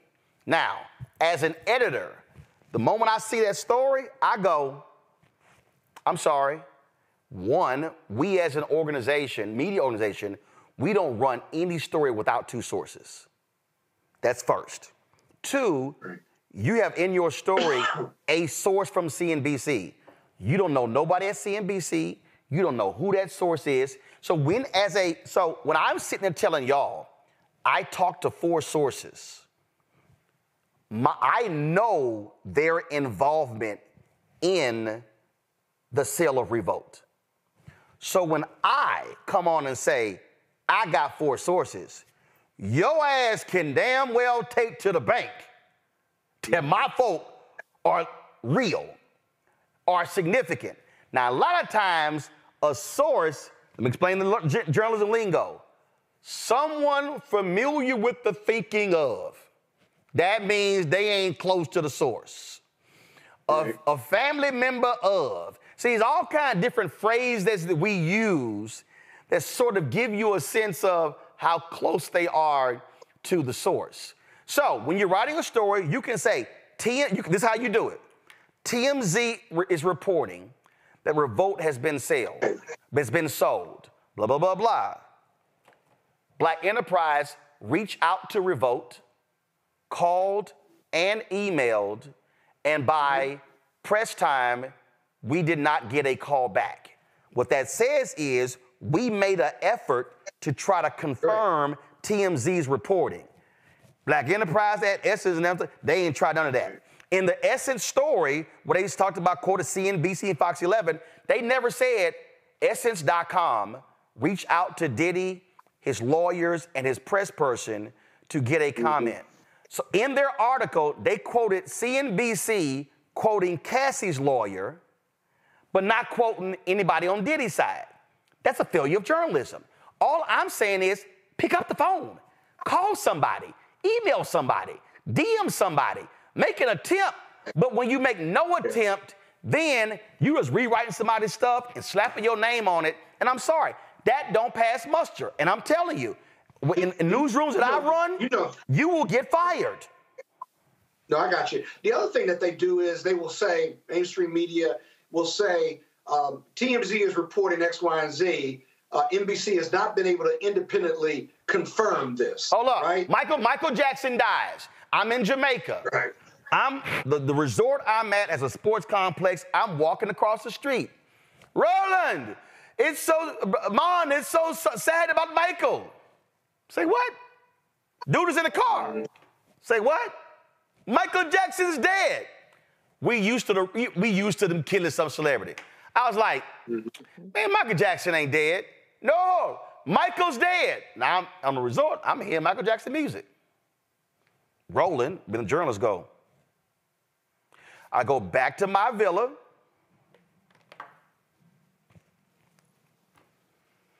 Marlon, how you doing?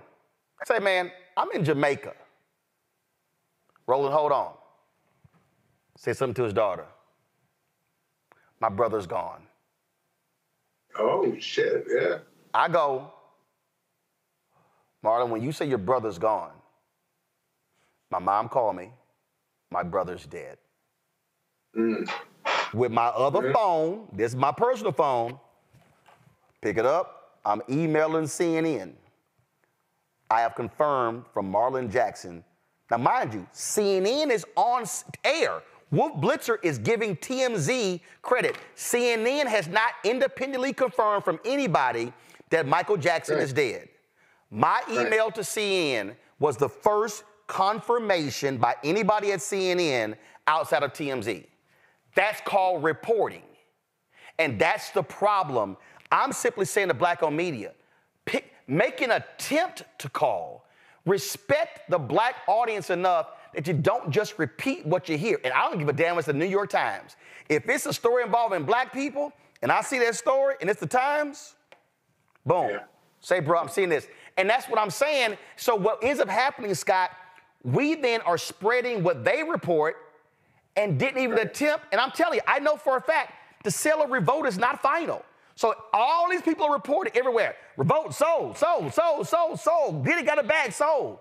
It's not true. The sale could actually fall through between now and I've already been told when it's going to get announced. It could actually fall through.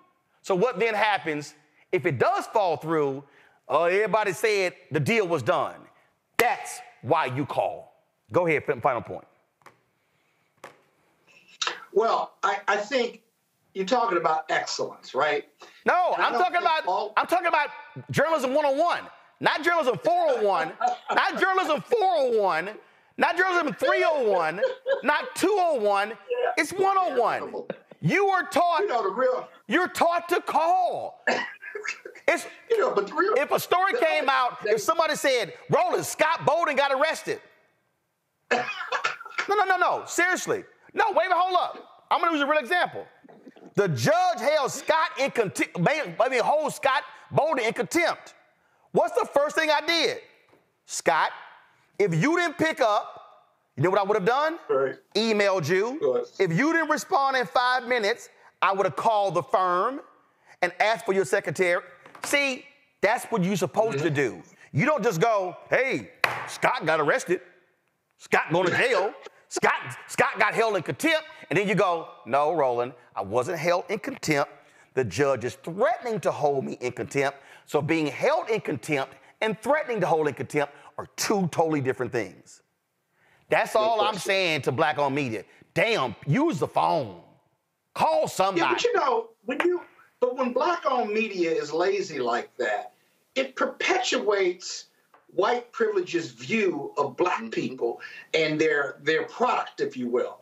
And and that somehow it's almost acceptable to have a have a non-excellent or below standard uh, product that's acceptable to black people. So it's not reliable, if you will. Somebody white looking at it and saying, well, that's from a black publication, so we can't really rely on it because their white privilege kicks in. To me, that's another danger if you're not if you're not practicing excellent journalism. So, I mean, nobody's going to disagree with you about this. I just wish we No, could do no, no. too. I agree. No, no, no. There are people who have disagreed with me. Man, why you making a big deal out of this? About what? Uh, but because I dared say, because I've called people out. I'm just gonna leave this one to y'all. 'cause- Roland? But I'm, I'm gonna give you an example that's not black-owned media. Y'all gonna, y'all three gonna love this one. So remember when, remember when uh, President Obama uh, had the news conference and he was asked the question regarding the arrest of Skip Gates? Mm-hmm. And remember, he said that the mm-hmm. cops acted stupidly after arresting him, after ascertaining that he actually owned the house. Remember that? That's actually what he said. Sean Hannity, Fox News, and the right. Obama called cops stupid. No, he said they acted stupidly after learning he owned the house and still arresting him. That's actually what he said. So I'm on CNN and we're in the air and we're discussing it. And so I'd already found out what happened at the meeting that morning. What happened at the, so in the White House, there are two meetings. There's a seven o'clock meeting and there's an eight o'clock meeting. The seven o'clock meeting is the real, real meeting. Okay? It's more people in the eight o'clock meeting, but the seven is the real, real meeting. So, so we're on the air, and Candy Crowley, great respect for Candy Crowley. Candy Crowley goes, well, you know, my understanding from um, from the, um, you know, that the White House would really prefer to walk that black, walk that back. I went, no, they're not. They all turned to me. I said, my understanding is Obama is very clear as to what he said. Well, Roland, you know, I've talked to my sources in the White House, and I went. I, I ain't lying. I'll never forget. Me too. I went. Oh, I got sources too, and I can tell you. Now, here was the reality. The reality was, the reality was, in a seven o'clock meeting, the white boys came in, were like, yeah, we gotta walk this back. The black folks like, bullshit. No, we not. And, and a black staffer, I ain't gonna name him, said, outside this building, I left the office yesterday, and I'm a senior staffer in this White House, and I flagged, I couldn't flag down a cab, and they passed me by. The whole room went silent. So when, mm-hmm. so when the white advisors, when they all went into the Oval Office, Obama made it clear he wasn't walking back nothing. Mm-hmm. I know who I got the story from. And I was like, mm-hmm. I got sources too. So here, so at CNN was kind of like, well, you know, that's Candy Crowley. I don't give a damn, that's Candy Crowley.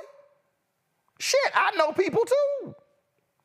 But what happens is in those, it's sort of like they like to defer to the last. I just remember, I, I remember, and again, I love Candy, but the bottom line is I know people too. Y'all may remember that was a General James Jones. He had friction with um, Bill, uh, Robert Gates. And I remember I made some comment and, then it was like, well, General Jones is very well liked. I was like, yeah, he ain't gonna be that long though. I said, that's some, he ain't gonna be that long. And it was, and it was, and it was sort of like, the response to me was sort of like, like, what do you know? I said, okay, we gonna see who go 1st Why don't y'all Google General James Jones and see when he resigned? And then Google Robert Gates to see when he resigned. Jones left first. This is an example, even when you're in white media, why you gotta have your own sources close to the action, because there were numerous times, even at CNN, where I had stuff and other people didn't have, and and I I just I I, I don't want to hold y'all. I gotta, but it, it just it, Scott, you'll give me. Man, we way late. No, no, right, Scott, Scott, you'll be all right. I'm gonna get you. I'm just gonna get you out. This, I'm gonna get you out this bit I because also got one thing. because Rebecca, I'm gonna get this. They, they wouldn't let me put this in my book. CNN said no. I'm gonna, Rebecca, we're gonna close on you, but they wouldn't let me put this in my book. The night of the Iowa caucus, when Obama won. So I didn't get on the air for three and a half hours.